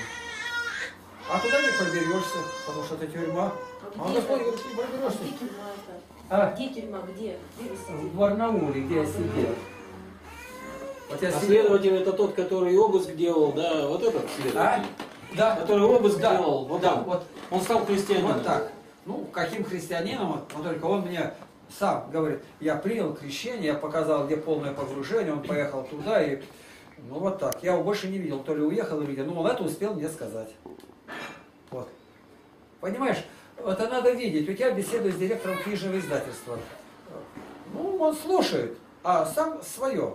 Ну вот коснулось ему крестить в лука. Он пришел в храм, они там быстренько спроводили чашку воды. Он говорит, подождите, я ведь слышал, что крещение должно быть полное погружение. Ну это, знаете, я знаю, знаю, говорит это. Это надо ждать. Я говорю, я подожду. Они наливают воду, вода холодная, это надо подогревать. Не подогревайте, если нужно, подогрейте, пожалуйста. И покрестили, как положено. Это я все от вас взял. А когда я говорил, я даже не подозревал, что семя там уже дает ростки. А он директор огромного издательства всех газет Алтайского края. Вот и все. Мы не можем ждать сходов и урожая в один день. Как Богу угодно. Вот. Поэтому нам, конечно, печально, что так случилось, но в то же время мы благодарны Богу. Мы остались живы.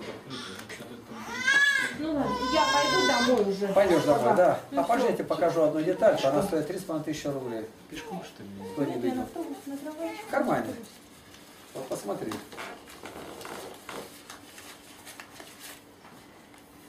В горах подпрыгнул автомобиль, пробило все, и мы едва не погибли. Пришлось заплатить 3,5 тысячи. Полностью поменять колесо. Тысячи машин.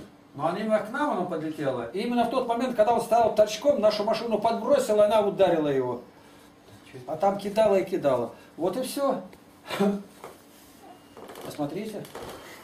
Нам обошлось это с половиной тысячи, но нам дарована жизнь. Мы два раза были при смерти. В буквальном смысле. Сантиметр может быть.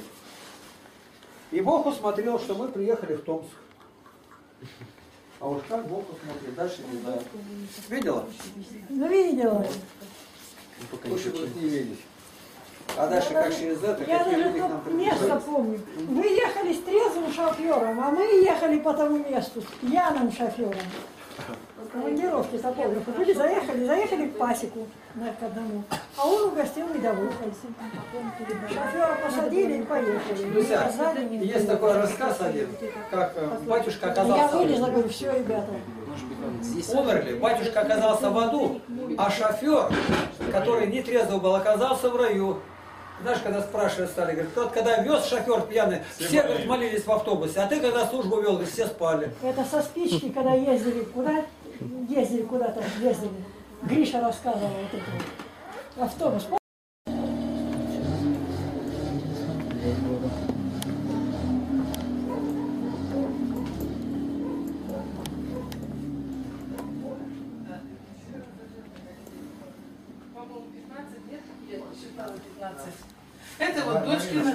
Считала. Тихонов. Показывай, иди сюда, тут все можно. Ну тут вот ремонт оттуда. Это у вас кухня, да? Да. Мы для Игоря просто заснимем потом тоже. Дадим ему посмотреть. Ну пусть посмотрит. А он не был, да, вроде здесь? А? Не Игорь-то не был? Нет. А, на свет мне уже не видно. Все обещал, обещал здесь помочь в ремонте. Так и не, не, На этом не закончилось всё. доехал. Все, можно идти дальше.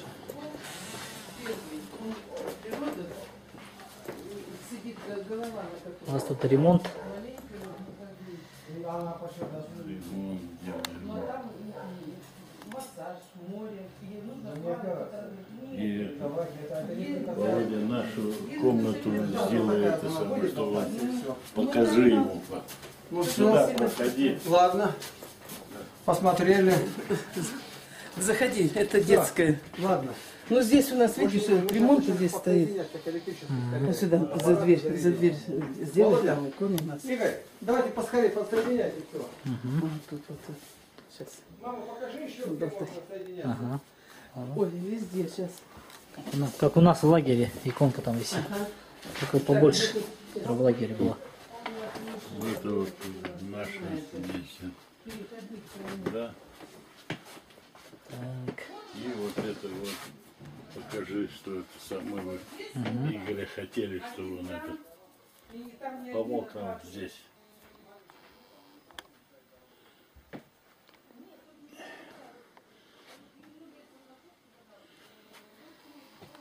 И сюда вот. Тут дверь переделали, а до конца не доделали. Переставили ее немножко. Она была И у туда. нас еще, давайте все включайте, везде есть. Сюда можно включать. Ага. Здесь. Все понял, слава богу.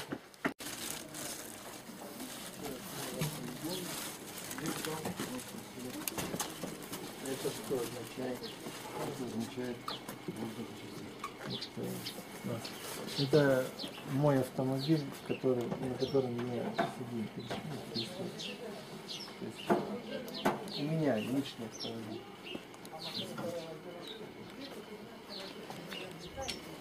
И Пока другого не признаю.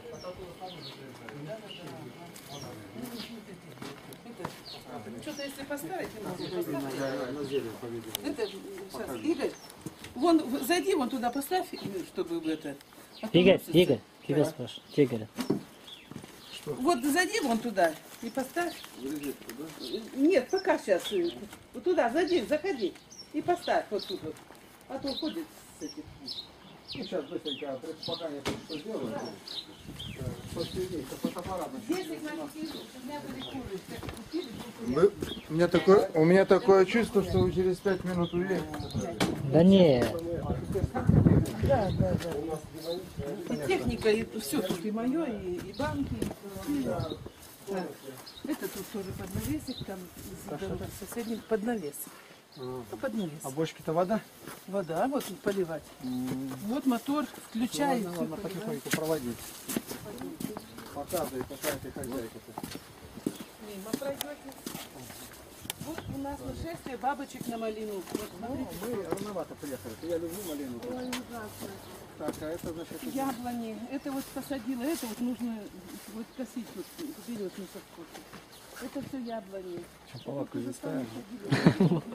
Сушничка принесли с соседних дач. Штакетник. Ну, оттуда пройдем. Взять топорик, нет? Есть. Ну, вообще не замечательно. Нет. Видите, я вчера поймала, все, все их выловила. Они вечером спят. Поймала я их- кого? Бабочек, А я их по пять штук. А вот, смотрите. Ну-ка. Они сейчас Лови. летают, а я их вечером. Види, пока Они покажи, по, по сколько штук, ловит. я прямо смотри. Короче, кто бы я знал, что бабочек так Вот ловит. Руками, считал, вот руками. Вот.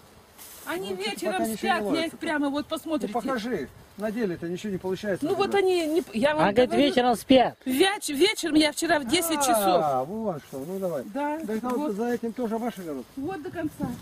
О, да, сколько же здесь? 26 соток в месяц. Замечательно. Да. Помидорки, Полигон вот большой. Так, Игорь, у тебя где телефон, да, сказать, а, аппарат-то? Ничего не сделал? Фотографируй. Иди, сходи, сходи, брат. У него-то тоже нет. Это вот приехал от вас. Дальше туда подсаживала. есть, это там что это у тебя? Карту- Вот это первая фацелия, вот до, до камешка, вот до зеленой Фасоль? пакет.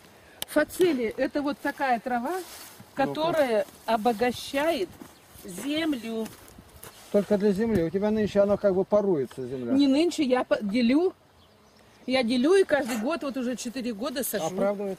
О, конечно. Вот видите, вот это вот все вот соломка, которая, соломка Понятно. Это там, наверное, смородина, да? Вот тут малина, и, три ирги, калина, смородины, крыжовник.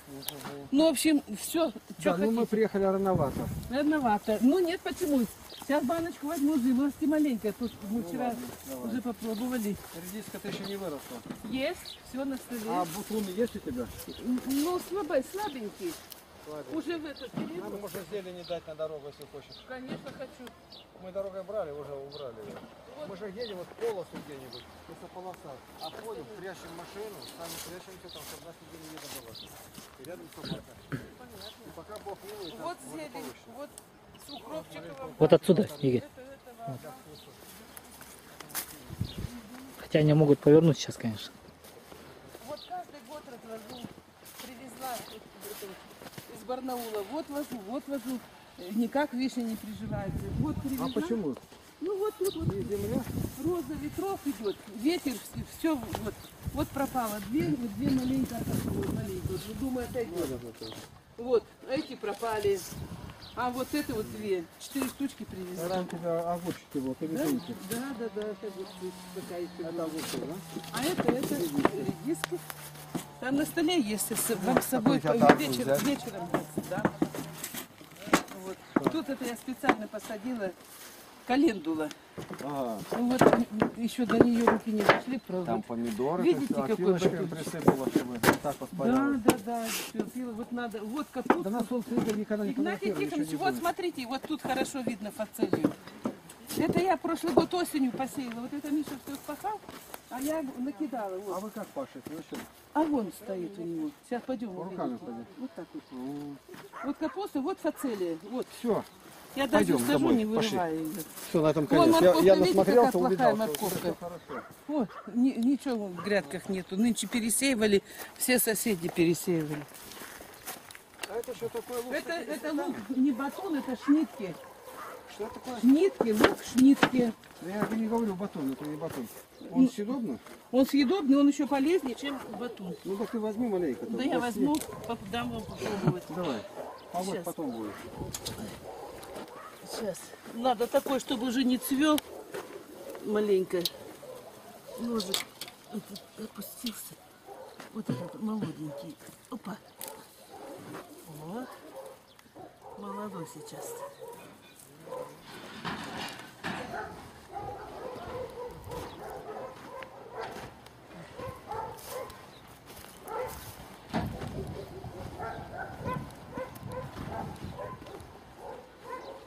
Володя сказал срезать вам цветок и поставить, а я не успела. Сейчас срежу. Там, ага, под- там идите по досточкам. Ну, пошла, я с тобой пойду. Вот из Барнаула привезла в этом году. Вот эти уже три года, три или четыре. Зимой это не вымерзает еще? Тоже из Барнаула. Ну, А. плохо, видите, подсаживаю. Вот эти сохранила, это вот барнаульская ягода. Привезла вот в этом году посадила. Да. Вот это да. Да. Ну, это полностью цветник. Полностью многолетний. Дом-то у вас шикарный. Вот смотрите. как. Это на два хозяина дом? На два. Ладно, что ты идешь? Зачем? И вам? Да нам не надо. Володя пойдем. сказал. Володя сказал, сорвать поставить. Ну Сейчас нас первым делом пропусти вызвал, по где там подключиться. Пойдемте, если нам он каждая минута дорогая будет. А потом дальше мы уже... Вот с помощью кого? Игнатий Иванович? Вот. А я знаю, знаю, это крот у этого. Ну, Там был у этого, у Глушкова. Ну, это сейчас нанимают. вот божье дерево. Вот там А вот это, подожди, вот это что за дерево? Это божье дерево. Вы, вы пойдите, как понюхает, пахнет как. Какое-то японское. Ну, пойдемте. Я вот А, Поржа. Ух ты. Вот, вот, я а куда его даю. употребляют? Никуда, вот красиво. Ну, может быть, где-нибудь запах, Не от знаю, может быть, запах. от Вот это вот. Не знаю, вот они отойдут. Они, видите, отходят. Она я им дала, она А. отойдет, и она вся будет, это все уйдет. Так. У нас же весна еще только-только, Ну давай. только-только начинается. Вот так вот не держи, ногу Да, расставишь. да, это я вчера садила, видите? Ну, я везде порядок сразу наводить Правильно, начинаю. Игнат Тихонович. Нас надо наводить, а то мы тут... А Туалет то мы вон. расслабляемся.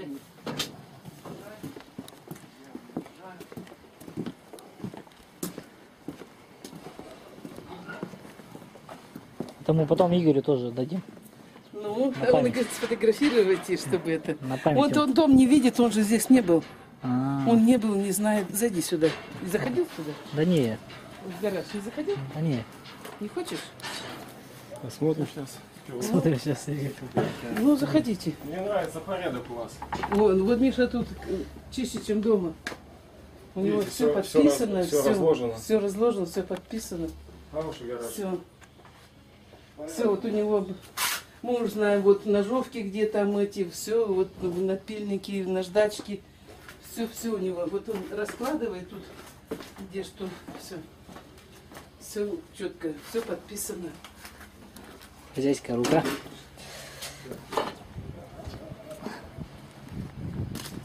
Все, ты больше не трасса, все, здесь понятно. Мгм. Мы находимся возле Красноярска, в деревне Пугачева. У родителей Игоря Догунова. Приехали, Иванович, Сергей Пупков с собакой, брат Игорь наш, Третьяков, ураган,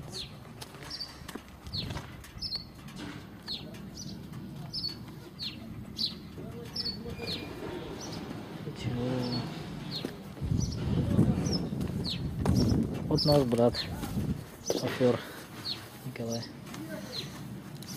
Сейчас дождемся тетю Валю Дубнову, нашего брата Игоря, маму.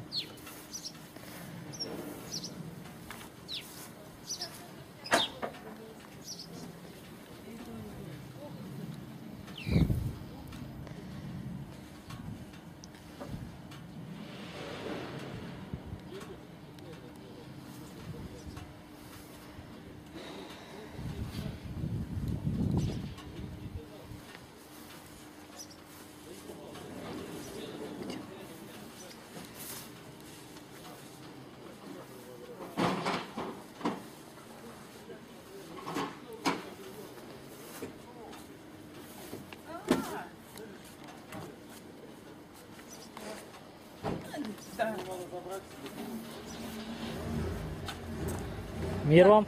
Мне Игорь сказал ваш... Здравствуйте, вы дорогие. А вон там, Игнатий Иванович, фотографируйте его. Мне Игорь сказал всех вас сфотографировать. Давайте.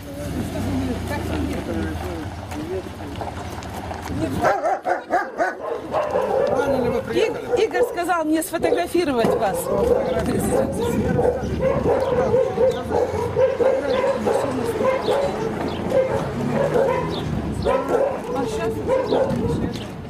Ну давайте я встречу. Сергей, выходи. Сережа, видно? Сережа, давай с собакой. А ты будь, со своей камерой. Собаку-то выведи. Вперед, давай. Ой, и Игореха еще. Игорь, ну давай. Давайте. Я не могу так в разброс. Так, я не вижу. Сережа. Игнатий Тихонович, так, все, далеко. Вас закрытый объектив, объектив Сейчас я смотрю. Равно, Игнатий Тихонович далековато, я вот так вот. О, ой, молодцы, ребята. Братья, вернее. Все. Все. Ты меня. Ну еще раз сбоку так. Чтобы машина была видна. Разверни. Да, номер Да ладно. Далеко тебя не вижу. Нет.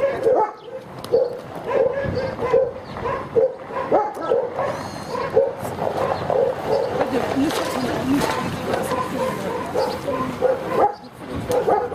Пойдемте,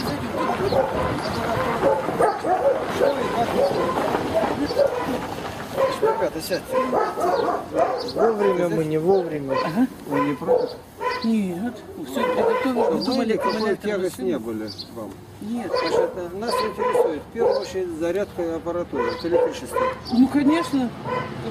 А где у вас ополоснуться можно? У нас вот как раз баня. Там душ, там стол.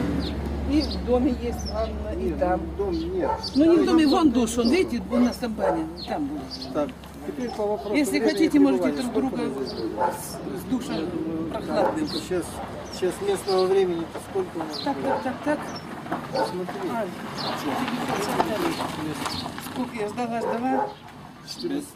Там 15.50. Сколько? 54.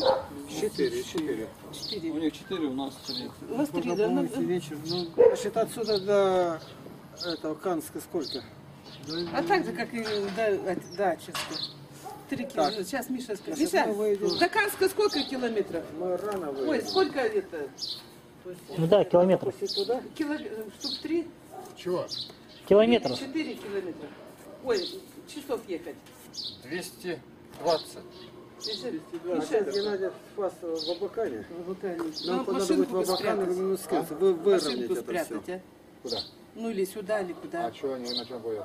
Нет, ну вот сейчас они сейчас Нам нужно подумать, как где машина будет. Ты Ну, вытащи пока свою. У нас все там, документы, ценности такие. Миш, там и документы, там все. У нас очень большая ценность, большая, просто огромная. Мы не можем ее оставить. Ну, они будут волноваться, не отдыхать. Ну как, бы, я не волноваться не буду, я не вылезу, просто сидеть буду с собакой. Мы же везем, везем. либо в машине ночевать, Значит так, Миша, давай. надо обдумать. Пока вытащи До свою. утра мы все это сделаем, утром рано мы молимся, выезжаем, в 4.40 сюда встаем. Вам это не в тягость будет? Нет, ну вы посмотрите, где И имею в виду, нам легче уехать, чтобы только дружбу не потерять с вами. Мы очень Да вы чего? Ну, конечно. Вы че, Игнатий? Никогда же не думаю, Валюша, что тут тебя Да? будет. Представляете, что Господь приведет. Вот И, так. и- и батюшка же тоже был. Позвонила сегодня с утра Николаю Татьяны. Николай работает, он по трое суток сейчас работает. Что-то хозяин какой-то, и никуда не пойдешь. Он же худенький, маленький, больной. А Таня просит, ой, ну хоть бы заехали. Значит, обдумать надо. Перед нами Канск и Минусинск. Дальше мы едем до Байкала, до Иркутска. Прямой на лодке, уходим домой.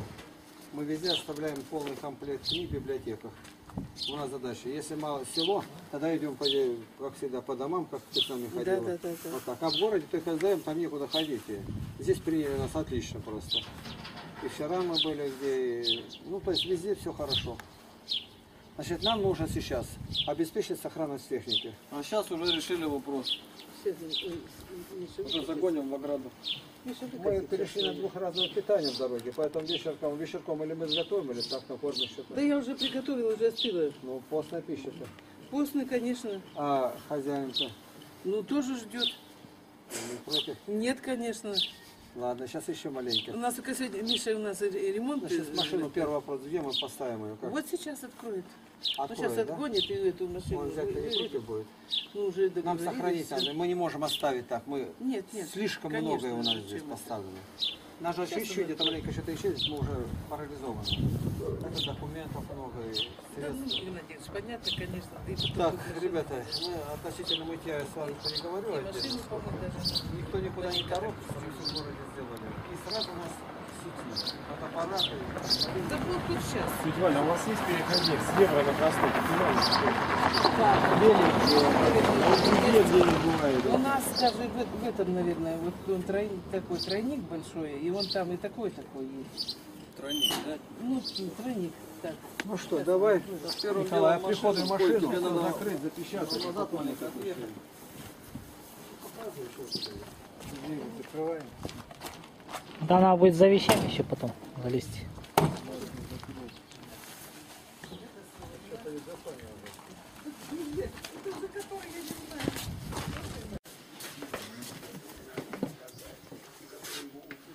Этот Дроздову в 75 лет. Кого, кого это они показывают? Это кто такой вот этот? Дроздову 75 лет. Дроздов. Николай, что ли? Да. 75. Сегодня исполнилось 75. Ему 75. Ага. А что, думали больше? Российская академия. Ну, сказали. Сейчас. Ну ладно, можно выключить. Мама, иди сюда рядышком. Ага. Давай-ка ты от меня вот здесь сядешь. Мы небольшое составим интервью. На память детям вашим. Ну, давай, точно. Давай. Я уже выключила. Я вот сейчас, ребят, выключила. свет включить А ты включил. Включи Сейчас, свет. здесь. А, выключи. Я. Вот я ребятам говорю, выключите. он, э, Никогда я не думал, что я у вас в гостях буду. Ну, вот Когда вы бы- были потеряны, так сказать, в городе, там и Ну, было и да. было и было. И вдруг вот все одно к одному как слепилось. Купили машину, загрузились, поехали на Благовестие, и теперь нам затруднение, конечно, представь себе, нигде не помыться, ничего. Как будто бы мы только сегодня выезжать собираемся. Это Господь устроил. Я с отцом разговаривал насчет здоровья. И только на меня не обижаются, договорились. Ну, уже не обижайся. Оказывается, вы старше меня на один месяц и восемь дней. Да. Все, так что можно считать годки. Так не можно считать, а годки, как есть годки. Я ему говорю, я говорю, зачем же ты вот это вот держишь? Он говорит, это, говорит, еще как назвал болезнь? Грыжа? Да, пупочная грыжа. Пупочная грыжа, говорит. Вот, я говорю, а сколько тебе рост? Он говорит, метр семьдесят два. И у меня метр семьдесят два. Мы подходим такая. Вес сколько? Сто. Сто. У меня 64. Видишь, какая? Вам не То есть, хватает конечно, немножко. по бодрости, по всему человек, э, это, у нас епископ был, Антоний, ну, вот прям вот таким вот он. И ко мне как-то пришел в гости на второй этаж, двухэтажный дом-то. Поднимается, говорит, что как паровоз пыхтишь-то? Да не могу что-то. Я говорю, я тебя вылечу, иначе ты умрешь, не будешь жить. А как? Переходи ко мне жить. Епархию сделаем здесь. И будешь вставать со мной, я ему сегодня отцу говорю, я тебя вылечу. Я говорю, вставать будешь со мной вместе молиться. Это мне не подходит. Так?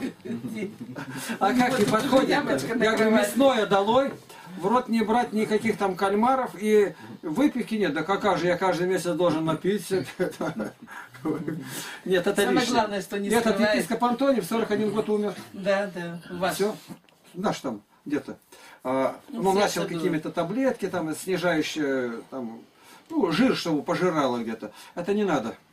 Нужно скромно потеть несколько раз на работе. Активный, активный образ жизни. Активность заключается в чем? В нужности. Вот мы едем, представь, сколько это сотрясений, трясет, выматывает жара. Ничего. Зато я вижу радость людей, а которые еще за нами придут там это. А так вот соберутся пенсионеры и начинают. Ну как, сколько получаешь, а чем болеешь? А у нас Нина Жолнер говорит, чем болеешь? Я вообще не болею. Как? Да ты же на пенсии, на пенсии. Меня спрашивают, чем я понятия не имею. Я ни одной таблетки не съел еще за жизнь. Даже не помню это. Зачем? Болезни, которые нога не дает крутиться, и другое. Это не болезнь, это естественное старение организма. Как машина, которая на износ уже долго работала, она ну, другое имеет. Больше поклонов. Вот мы дорогой едем, останавливаемся около машины, расстилаем палатки и молимся, а машины мимо нас идут, глядят, там нас это не касается. Сто поклонов, проехали сколько, опять выше, палатки расстелили, помолились, Пресвятое и поклоны. Знаешь, жизнь совершенно другая идет, с другим на- настроем. Мы благодарим Бога в конце, подняв руки, за всех, кто молится за нас на небе, на земле. За всех, кто молится во благо нам. И чтобы Господь услышал наши молитвы о всех, заповедавших нам молиться о них. У человека э, нужность появляется. Вот бабки бывает, она проходим по деревне, она лежит днем. Бабушка, а что ты лежишь? Да не могу я. А что? Да что, дети уехали, я одна, никому не нужна. Баба, это не так. Ты нужна, и ты даже не знаешь. Ты ночью встаешь иногда, ну по нужде. Ну вот и хорошо, нужда заставила встать. А ты молишься за президента Путина? А что за него молиться? А он нуждается в этом, чтобы мудрые законы издавать. За Медведева молишься? Нет. За патриарха нет. Молишься, чтобы войны не было мирное время, чтобы Китай нас тут не разодрал. Это все за милицию и полицию, чтобы она не угнетала народ свой. За пожарников, которые жизнью рискуют ради нас Гриша. Ты понимаешь, сколько у тебя обязанностей, а ты все их бросила и легла и лежишь. Как же ты перед Богом-то отвечать будешь? Наверное, родных никого нет. Да есть, вот сын он бросил, уже 10 лет не был. Да ты молись за него, за внуков. Молитва потрясает небеса, склоняет их на милость. Вот мы что молимся этим, у нас прям мгновенно помолились, и у нас все это получается. А сколько людей нас благословляло. Заехали в храм, батюшка кистью каждого мокрой водой благословил, сели, все молятся. И поэтому мы едем, настолько это успешно. Вот встанем, вот здесь мы ночевали сегодня. Мы все зарываем, после нас никакой бумажки не остается, следа. Ну, комары это... ну, Мы же не в раю, мы на земле. Конечно, на земле вот. Машка какая. И вот я и предлагаю, в самый а, конечно, Владимир, я вылечу тебя. Жалко комаров-то. Они тебя мало ели по тайге А вот заметь, Никита такой был. Он э, от народа грабил. И вот однажды жена дома варит там на кухне-то. Ну и Мария варит, и поварешка-то проворачивает, смотрит, кисть руки всплыла. Смотрит маленько, котел-то большой, смотрит, голова человеческая. Она закричала, Никита, иди смотри, что, суп-то варит там. А суп-то положила нормально, как всегда, там рыбу, мясо. Он подходит, там кисть руки всплыла, локтевой состав. И ему сразу Бог на сердце положил. Это от того, что я людей ограблял, я грабитель, я убил их. И теперь питаюсь. Ну, ближнему это не отдал. Да, да, да. И он сразу все оставил и ушел. И главное, ушел на болото, разделся до нога, где море этих комаров было. Тогда же вообще не уничтожали-то. Его едва узнали по голосу. И жизнь вся переменилась. Я не говорю, что на болото идти. Ну, ну что-то надо делать. Себя начинать томить. Не так, что лег, и лежа лежит и щакает, телевизор смотрит. Я видел одного тут в Красноярске. Смотрит на боку лежит. А Николай-то это, Дрозотов, он не на боку лежит. Нет. Он везде успевает. И в тайге, Ну, где только... Ты же только приехал один день, а уже судишь о человеке. О, о, А? я и говорю. Зачем ты это самое Понимаешь, я сказал, что не обижайся, Ага. не злись. предупредил. Ну я и предупреждаю О! тебя, что ты Так, это самое мелешь языком, а Нет, не нет, нет, знаешь, нет, нет, что по, я де- это по делу, по делу. тяпкой, тяпкой э, весь огород делаю. О, молодец. Ну а вот чё, Николай, зачем- Николай откуда приехал? Зачем лежа- лежать, лежать? И лежать не надо днем. Ну и все, зачем ты мне говоришь? А я болею. нельзя. У А меня вы- вылечиться надо. А я лечусь. Ну, а как лечишься-то? Ну, Успеха-то как, нет никакого. А мне А, зачем? а мне Игорь поручил, говорит, позанимайся с моим отцом. Ну. Он, говорит, не может двигаться уже. Ты помоги мне. Я ж по делу говорю. По делу. А вот Николай-то этот приехал, Дрозов-то, смотри, какие страны объезжает. Какой он сухопарый-то. Он на коне и поет, и едет, и зарубежные у него там все. Никогда не обижаться едет. нельзя, это не христианское Не качество. христианское. Никак.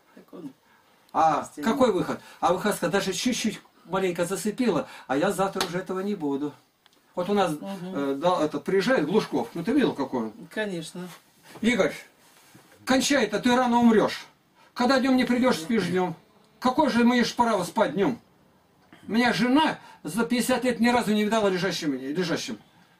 Ты маленько, ты нужен, у тебя дети подрастают, дочери, за каждой дочерью догляд нужен. А ты лежишь, спишь, такую мамону-то раздел, ты разве можно? Болеет, а все таблетки глотает горстями. В город заезжает сразу в первый же киоск блишей набрать. Не бери, дня два-три в рот ничего. Ты увидишь, как поползет это с тебя. Это болезнь. Я говорю, если бы была эта болезнь, такую, ну, обычно, когда лечат людей, то сначала на мышах, на крысах, там, на животных. И когда узнает, как реагирует организм, тогда на человека. Так если бы узнали, что от болезни человек делается жирным, толстым, без, кор- без корма, колхоз коровных свиней бы быстро развели. Нет, в рот не положишь, шабаш. Ничего нету. В обратном порядке рассуждаем, мы должны сказать, я сюда не положу, ничего нету. Вы не поверите, я за два месяца на 11 килограмм в армии поправился. А почему? Потому что я вот такой был. Меня направили прорабом работать, и работал я около Иркутска, Плишкина, заключенными. Каждый день 250 человек, 6 объектов. А я, ну, сопляк. Еще и в армии-то не был-то. И ни одного выходного, и каждый день две смены. Так меня военком, когда призвали в армию, я готов был обнять его. Я в первый же ме- месяц, там полтора прошло, сколько, два не Ну, полных. потому я на 11 килограмм поправился. стало. Потому что это дрожание ягненка перед волком ушло. А они какие люди? Он топор на шею вешает. Это живем бесстрашно. Я скажу, от чего лишний вес. Ты тоже хороша. Да, конечно. Значит, первое. Самое прозаическое обжорство, лишние калории. Лишний. Все эти кальмары, все эти жарения исключить. Второе. Самая настоящая лень. Лишнее не. А Покровский, министр здравоохранения, говорил, человек должен трижды в день не шутейно пропотеть, или бежать, или работать. Не просто тяпочкой там потяпать. Ты должен пропотеть, усилить. Ну, норму дай, сколько в колхозе надо было вырабатывать.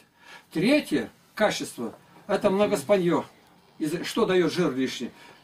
Во сколько встаешь, во сколько ложишься, сколько днем. И четвертое качество, от чего человек по они друг за другом стоят, это беспечность. Тебе разницы никакой нету, народ погибает, не взволнуешься, ночью не станешь на молитву, не заплачешь. всегда. Вот какое дело. Это у меня в материалах как раз и есть. Так а ты меня судишь. Лучше быть сегодня судимым, говорит, человеческим судом, нежели судимым быть Божьим. А люди предстают пред суд Божий, а пришел раньше времени. Тебе срок такой не был назначен. А почему? Ну, причины разные. Это нет невоздержание, как правило. Люди, которые не знают нормы ни в чем, они короткодневно на земле. Вот человек приехал на дачу, ну, у него 5 соток. Я лопатой 5 соток вскопаю. Я вскопаю. А дальше что? А дальше баня уже на даче. А дальше что? После баньки с топоря. И к утру готово дело скопыльнулся. Сердце одна нагрузка, вторая, Да. третья. О, вот это правильная жизнь. А что правильно-то? Ну что, я должен это ну, молиться? нет, неправильно, вы указали так. А вот так сверху, вниз, а потом направо, а потом налево. А потом поклониться так, чтобы рука могла пол достать. Мы ровесники. А вот я тебе скажу, допустим, у меня каждый день полторы тысячи поклонов. Понимаешь, как тело, когда моришь, да еще ночью встанешь на молитву, каждую ночь не пропустить. И ты почувствуешь, эта жизнь, вот это прах, я, я в глаза не вижу эту жизнь. Вот и все. А смотри, слово-то задевает. А как же? Это еще бы как. А то-то сын Игорь. Я скажу, Игорь, я выполнил программу. Ах, Владимир. Владеть миром это непросто. Нам Бог дал радость бытия. Родители нас не убили в утробе с тобой. И поэтому у нас определенная цель достичь Царства Небесного. Это называется небесная пристань. Туда мы плывем. С тобой, Игорь, ты ведь много говорил. Он тебя здорово песочит. Игорь строгий человек. Он не, будет зря трогать. Вот. Я его тоже говорю, ты что же это так-то? Он, да это я из нашей силы, это Марина. это». Ну, а вы, говорит, все такие худые в Лаптины. Ну, это правильно, мы, мы худые. Ну, ты посмотри, сколько батюшка работает. Он сам косит, а косой помахай-ка где-то. У него овечек, как холоста овечек. Каждый задай, на вас вывези, все, это батюшка, священник. Он с тарелкой по храму не ходит. И во всяком деле везде участвует. Вот. Но он был у нас тоже. А когда? А, не помню, в каком году? Ну, мы шесть лет здесь. Ну, Вот он, наверное, в тот год и был, когда мама умерла. Он приезжал к этим, э, к Татьяне с Николаем. А батюшка?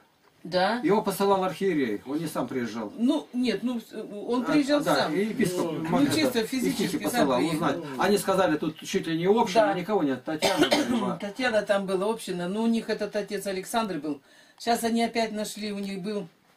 он опять обберет. Опять обобрал, вот уж все, и уехал. Они ему сказали, что на него дом не священника. Обобрал, документы на дом украл, уехал. Чтобы, что они сказали, что дом они бы теперь на священников делать не будут, а только на прихожан. Они вот собираются там на пятерых делать. Ну, кто ходит, на всех сделать, понимаете? А знаешь почему? И он они говорят, оба они такие глупые. Дело не в глупости, дело в непослушании. Он бы пришел, вот, человек, который жизнь прожил, у него все разумное по жизни, это по жизни. Он бы дал совет, стоит ли связываться с этим попом, который жульничает. У него ответа-то ни одного не найдешь, как бы... А он монах, его выгнали у нас с монастыря, а он к ним Елисей. А он опять. А он- они взяли. Сейчас А- опять, э, говорит, будет, ищет не своего, теперь будет свой у них. От этого. Мне, знаешь, что тут не понравилось? Будто бы, мне как передали, к ним приехал какой-то иеромонах, Вот-вот он и есть. А, И будто бы, а он узнал, что книги мои там у них. И они собирались ехать в Барнаул, ко мне заехать, он запретил. Запретил? Это я правда говорю? Правильно, вы Ну, знаете, я вам говорила. Я сказал, если вы меня щураетесь, а моим хлебом все время питаетесь, ну, ну сами рассудите, Ну вот они сказали, они, он сказал, он им сказал, если вы пойдете к нему, то я вас причащать не буду. Причастие ну как мы, папы без- везде. как мы без причастия? А он сам Как кому мы принадлежит? Кому он принадлежит, который причащать не будет? Не патриархия? Нет, патриархии наши этот э, здесь. Он вот, патриархийный? Да. Так зачем к нему идти, в другой храм, храм-то не один. А я им это и говорю. Тоже. Зачем вы его берете-то на нужно? Зачем вы к- полгода раз берете, хотели которые говорит, причастием чистить, играют? да и Он шантажирует. Настоящий храм. Я тебя в рай не пущу. Смысл-то вот какой. А он там и жил, у них же в доме и жил, а сейчас уехал. Ну, тут уже ничего не скажешь. Дом их, Да. они имеют полное право пускать. Они живут, ладно, у них квартира, они полностью ему отдали всю дом, только сами Ну, это их право, они пускают. да. Может быть, им нравится А, бомжевать. да там у них и лучше, интереснее, чем здесь. Они у меня в лагере жили. Ну, Николай с Татьяной это. Ну и все, вот они прошлый год Я скажу, с ними можно иметь дело, можно. Но она больная, это правда, развалюха. А он может, может вполне работать. Ну да, и не видит, и не слышит, и давление у них. А вы эти книги, которые вот стоят, не приходилось читать? Читал, конечно. Вот для слова Божия нет, это узко, Я- как, как биографичность такая. Я все читал их. А вот эти вот один, два, три, вот, которые там, Я это трехтомник, это послано мной в подарок Путину, Медведеву, патриарху Кириллу. И Интересно. 125 священников получили в дар. А хоть от одного что-то было, что вы получили, или вы... вы Ну, разные. подтверждать? Есть такие, как один вышел, вышел и, братья и сестры, у нас в храме сегодня как тепло, тепло. Так это мне Игнатий трехтомник подарил, я сжег его, поэтому так. Похваляется. Ну, Ничего себе. Дурнины. Придет время, будет еще жарче. Вот. Если мы, вот поехала, тут у нас была сестра из этого, из Канска, я ей дал вашему епископу подари. Есть, которые благодарят, а есть, которые даже письма написали. Ну, а другой он вообще ничего не понимает. Я у нас есть такой известный отец Виктор Теплицкий. Он Соню крестил. Я ему дала к этому м, к истинному православию. Да, ага. Кому это? А у нас э, э, сейчас он протеерей. Как фамилия? Николаевском. Теплицкий. Не знаю. Виктор, он а по вот она знает, здесь а, был священник Олимпии, Анна знает. Ну, это Ну, я его знаю, он в этом, в, в- в- это, вот в Это зять нашего Войтовича. Да? Да. И это Татьяна, его матушка за ним. Понятно. Она закончила, кажется, педиатрию, педагоги, этот, э, Он, медицинский. он подхрамывал Она маленько, хорошая он, он такая. хромал, он хромал. Его сейчас почему-то нету, я он не знаю. простой, где простой, но он никакого участия у нас не принимал, потому что отец там все командовал. и- Он полный. Ну, теперь я его не узнал бы. Нет. Он был студент, семинарист. Ой, и- он был. Олимпий здесь. Олимпий. Нет, его год всего, как в этом храме нет. Храм это Архангела Михаила. Володя в этом храме купель стрелял, делал, А устанавливал, ты не встречала такой Юрий Портовский? Фамилия нет. Он учился, ему Геннадий Фас преподавал.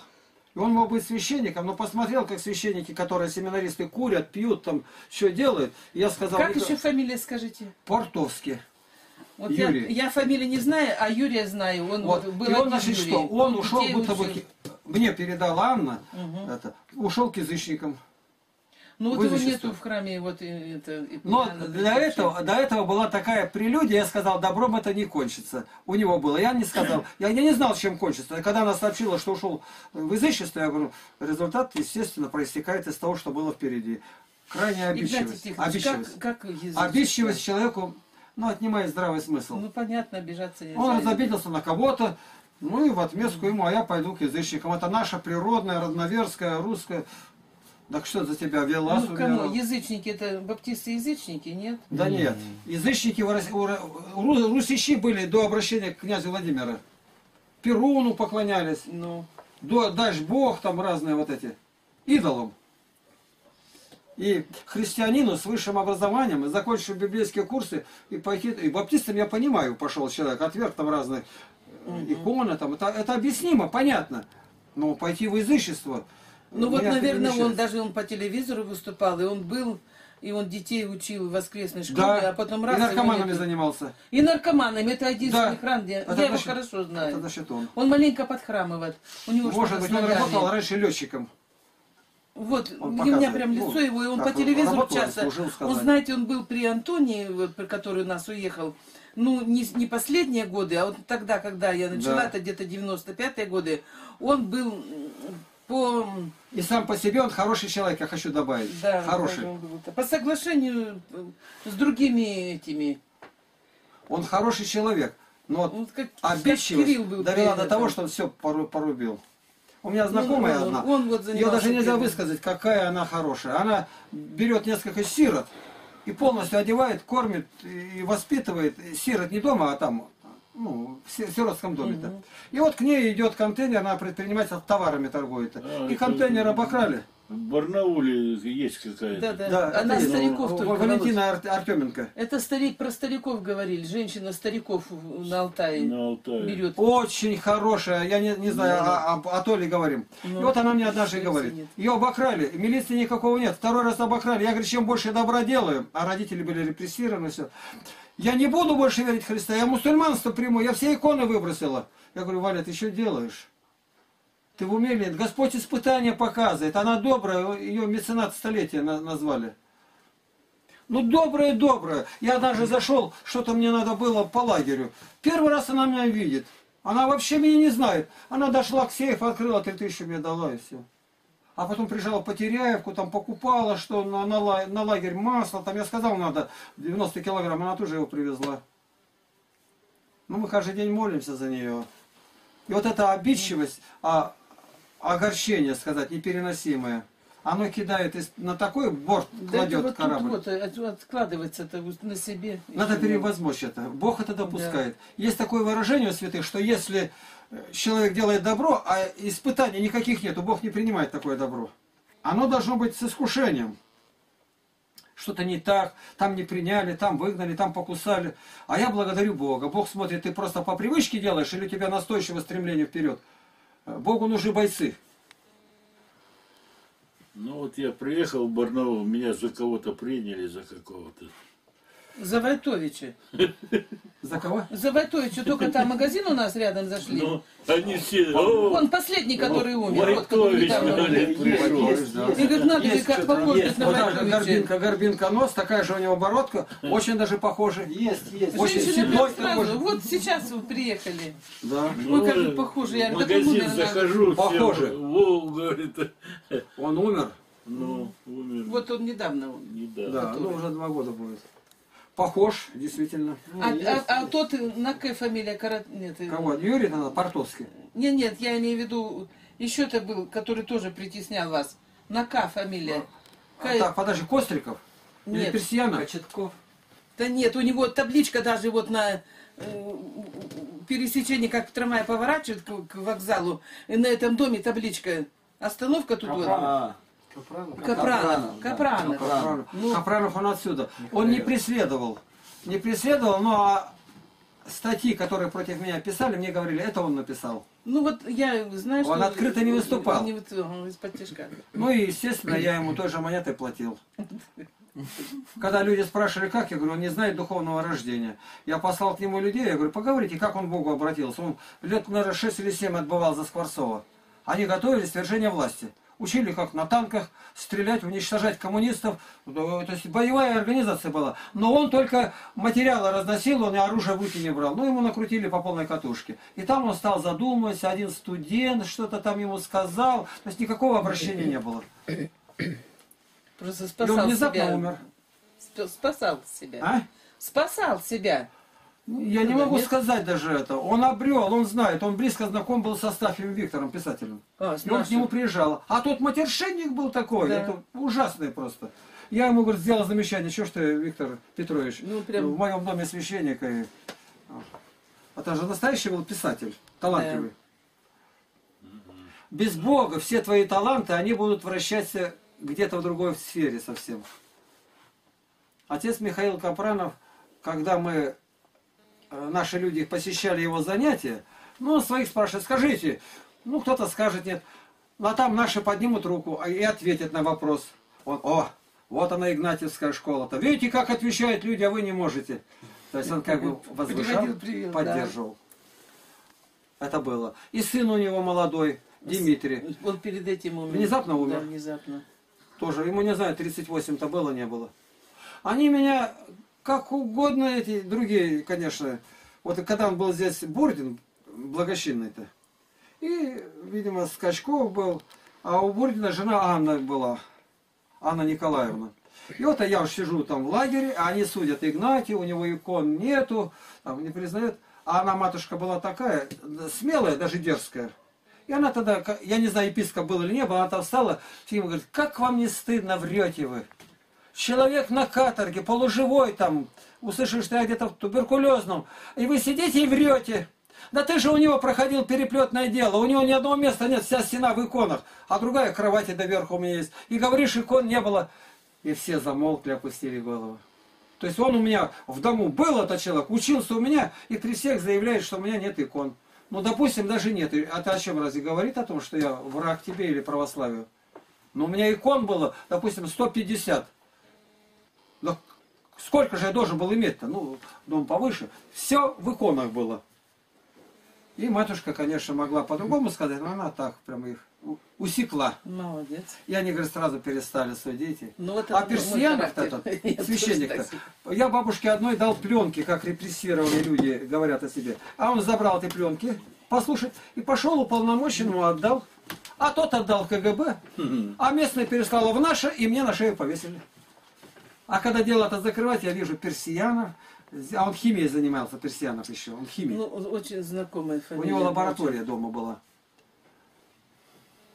Он был в, Самогон Краснояр- в Красноярске. Я бы с удовольствием и хотел подарить ему книгу. У меня запасная есть. Мгм. Как говорится, отомстить ему.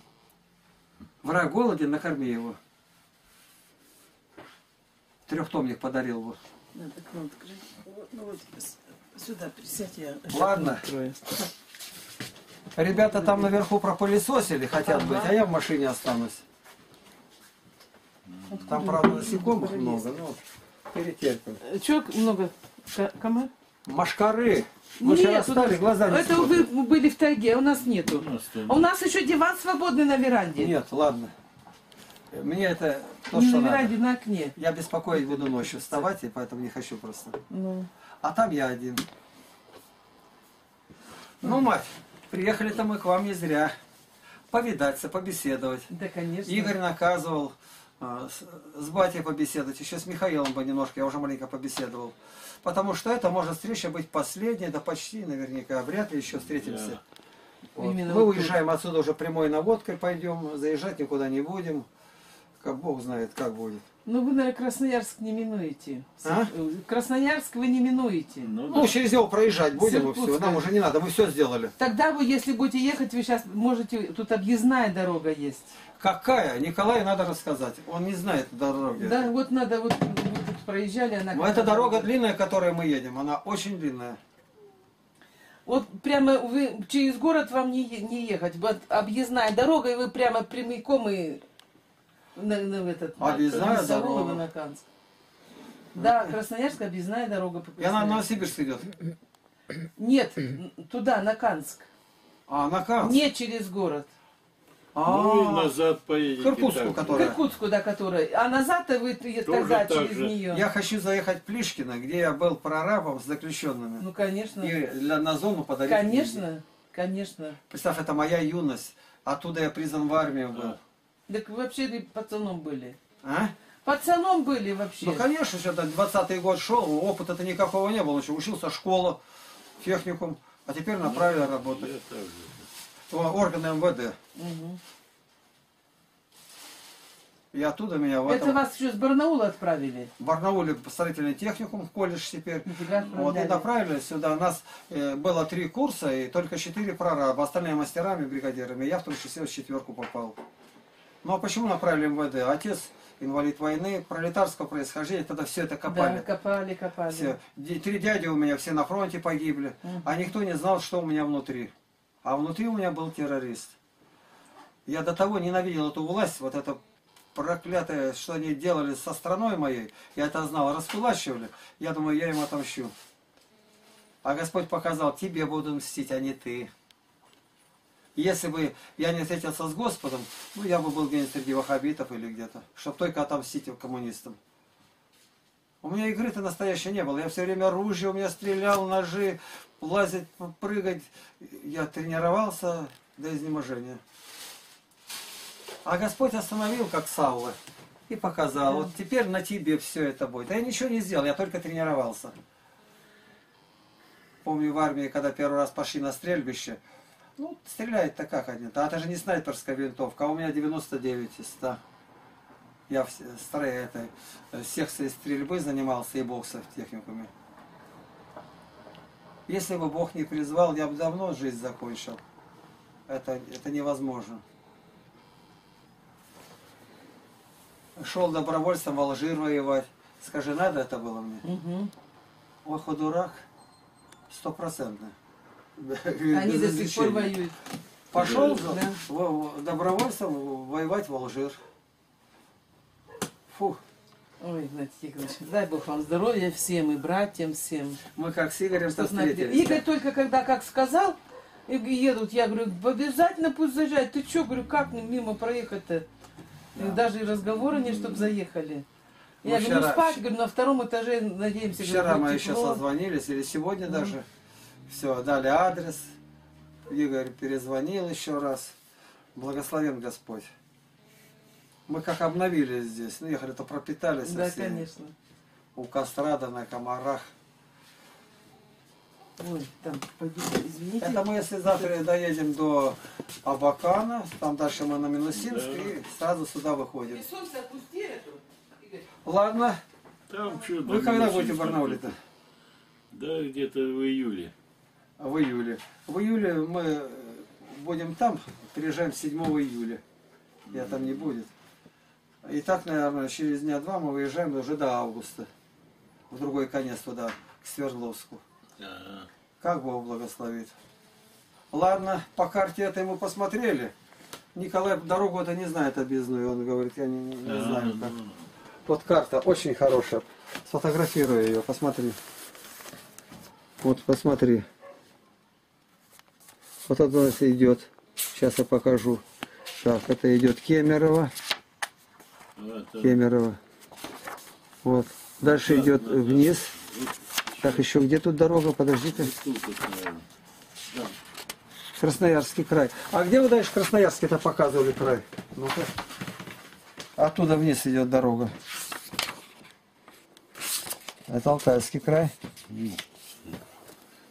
Вот О. Красноярск. Вот, значит, как у нас дорога. Вот мы сейчас находимся в Красноярске. Вот мы идем завтра Абакан и рядом Минусинск. В этой дорогой возвращаться, говорит, плохая дорога. Мы снова ей возвращаемся ей. и дальше идем вот на Иркутск. Ага. Ну, а дальше тут они не русские, тут вообще делать там нечего. И прямо выходим к Байкалу. А вот от э, Красноярского водохранилища. Вдоль, вдоль него мы будем ехать и кое-где видеть даже. Да, видно его все время. Да. Там, Разговаривали может, с отцом, тут как э, может. авария это на станции была. 75 человек. Да, 75 человек. Как вода могла подняться, я не говорю, не могу понять. Они э, помещения жили, это рабочие были выше намного уровня воды, и вода, когда сорвала, все, она вся туда ударила кверху-то. И там все перекоростало, вынесло, и... а потом спала. Люди сидели в кабинетах, работали, и вдруг рев, вода пошла. А почему? Оборудование шаталось, не смотрели, наконец сорвало все. Ну, сорвало. Всего это самое в пределах нормы, в пределах нормы. На какие А пределы, когда ну, затягивать надо? Надо было подтягивать все время, смотреть. Ну, как это. Чернобыль-то, в пределах нормы. Уже Ну, кипит, уже невозможно да, остановить. и вот, и рвануло на Европу. И тут так же, как вырвало все это, и там перекалер металл. Ну, был кто-то там спортсмен, кто-то. А что он сделает-то? Он в водовороте ничего. исчез сразу. Ну, да там вообще пикнуть не успели. Конечно. И не выпрыгнуть никуда, не Никуда, окна. ничего нету. Она все сметала на своем пути. Да, все на своем. Ладно, готовьтесь, ребята. Я схожу, может, с.